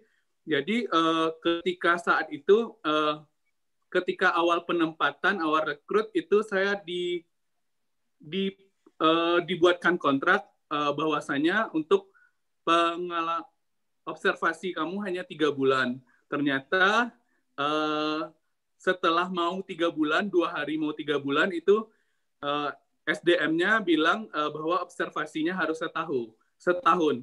Jadi dia bilang dia nggak update. Jadi kan artinya di sini untuk HR-nya sendiri kan kurang kompeten di bidangnya. Uh, itu hal yang seperti itu bagaimana Pak? Ya, kalau masalah pendidikan itu memang beragam. Kalau dicek di dunia HR, kebetulan saya ada namanya Gerakan Nasional Indonesia Kompeten. Itu hampir eh, empat eh, ratusan orang Eh, direktur-direktur HRD seluruh Indonesia. Banyak nggak jurusannya psikologi? Banyak. Apalagi hukum? Banyak. Yang lain di luar itu ada nggak? Banyak. gitu. Ada nggak yang sukses yang di luar itu? Banyak. Ada nggak yang sukses yang dari psikologi? Banyak. Gitu. Jadi eh, itu tidak menjadi jaminan. Saya juga S1-nya teknik kimia. Ya. Saya teknik kimia, saya menjadi uh, orang nomor satu HR. Gitu, ngurusin puluhan ribu karyawan misalnya. Yang paling penting itu mau belajar. Saya S1-nya kimia, teknik kimia, tapi S2 SDM, S3 SDM gitu kan. Mau mau belajar terus. Begitu juga bagian lain yang tidak pernah pengalaman di HR, tapi kok ditugaskan jadi HR karena dia senior, bisa saja terjadi di perusahaan. Ya, tapi dia harus belajar lagi. Makanya ada sertifikasi dan sebagainya. Nah, tugas kita apa? Ya, kalau kita ada di sebuah perusahaan yang bosnya bukan orang SDM, ya bantu dia. Nah, itu kesempatan untuk berinvestasi. Kesempatan untuk menolong dia gitu. Jadi justru Anda akan akan akan eksis di situ. Karena apa? Punya atasan yang jadi hebat di, di kita itu. Kalau kita punya pemahaman di Islam itu benar, punya atasan pinter bersyukur kita bisa belajar dari dia Punya atasan yang on, bersyukur kita bisa bantu dia. Punya atasan yang nyebelin, bersyukur Anda bisa mendoakan dia kan. Eh, bisa melatih mental Anda gitu kan. Coba atasan Anda kayak malaikat baik banget gitu. Anda mungkin tidak tertantang kan? Tidak belajar lagi, tidak mengembangkan diri lagi. Atasannya banget kayak malaikat, temannya baik banget, semua baik banget itu membuat kita menjadi tidak bekerja lagi, tidak belajar lagi, dan tidak tertantang lagi. Ya, baik. Mohon maaf waktunya sudah cukup, sudah zuhur, dan saya juga harus ada aktivitas lain nanti keluar. Karena lagi ppkm nih ngurusin toko-toko ya. Maklum. Jadi tolong teman-teman eh, apa yang sudah tadi saya sampaikan dipelajari lebih lanjut. Bahan-bahan segera saya saring nanti kasih ke admin, ke admin ya. Dan teman-teman silakan tambah lagi sumber dari yang lain eh, kuasai intinya kuasai konsepnya sehingga pertanyaan apa pun itu bisa dengan mudah dijawab oleh teman-teman ya jangan lupa jaga kesehatan terima kasih assalamualaikum warahmatullahi wabarakatuh Waalaikumsalam. Waalaikumsalam wabarakatuh. Terima kasih, Pak. Terima kasih, Pak. Terima kasih, Pak.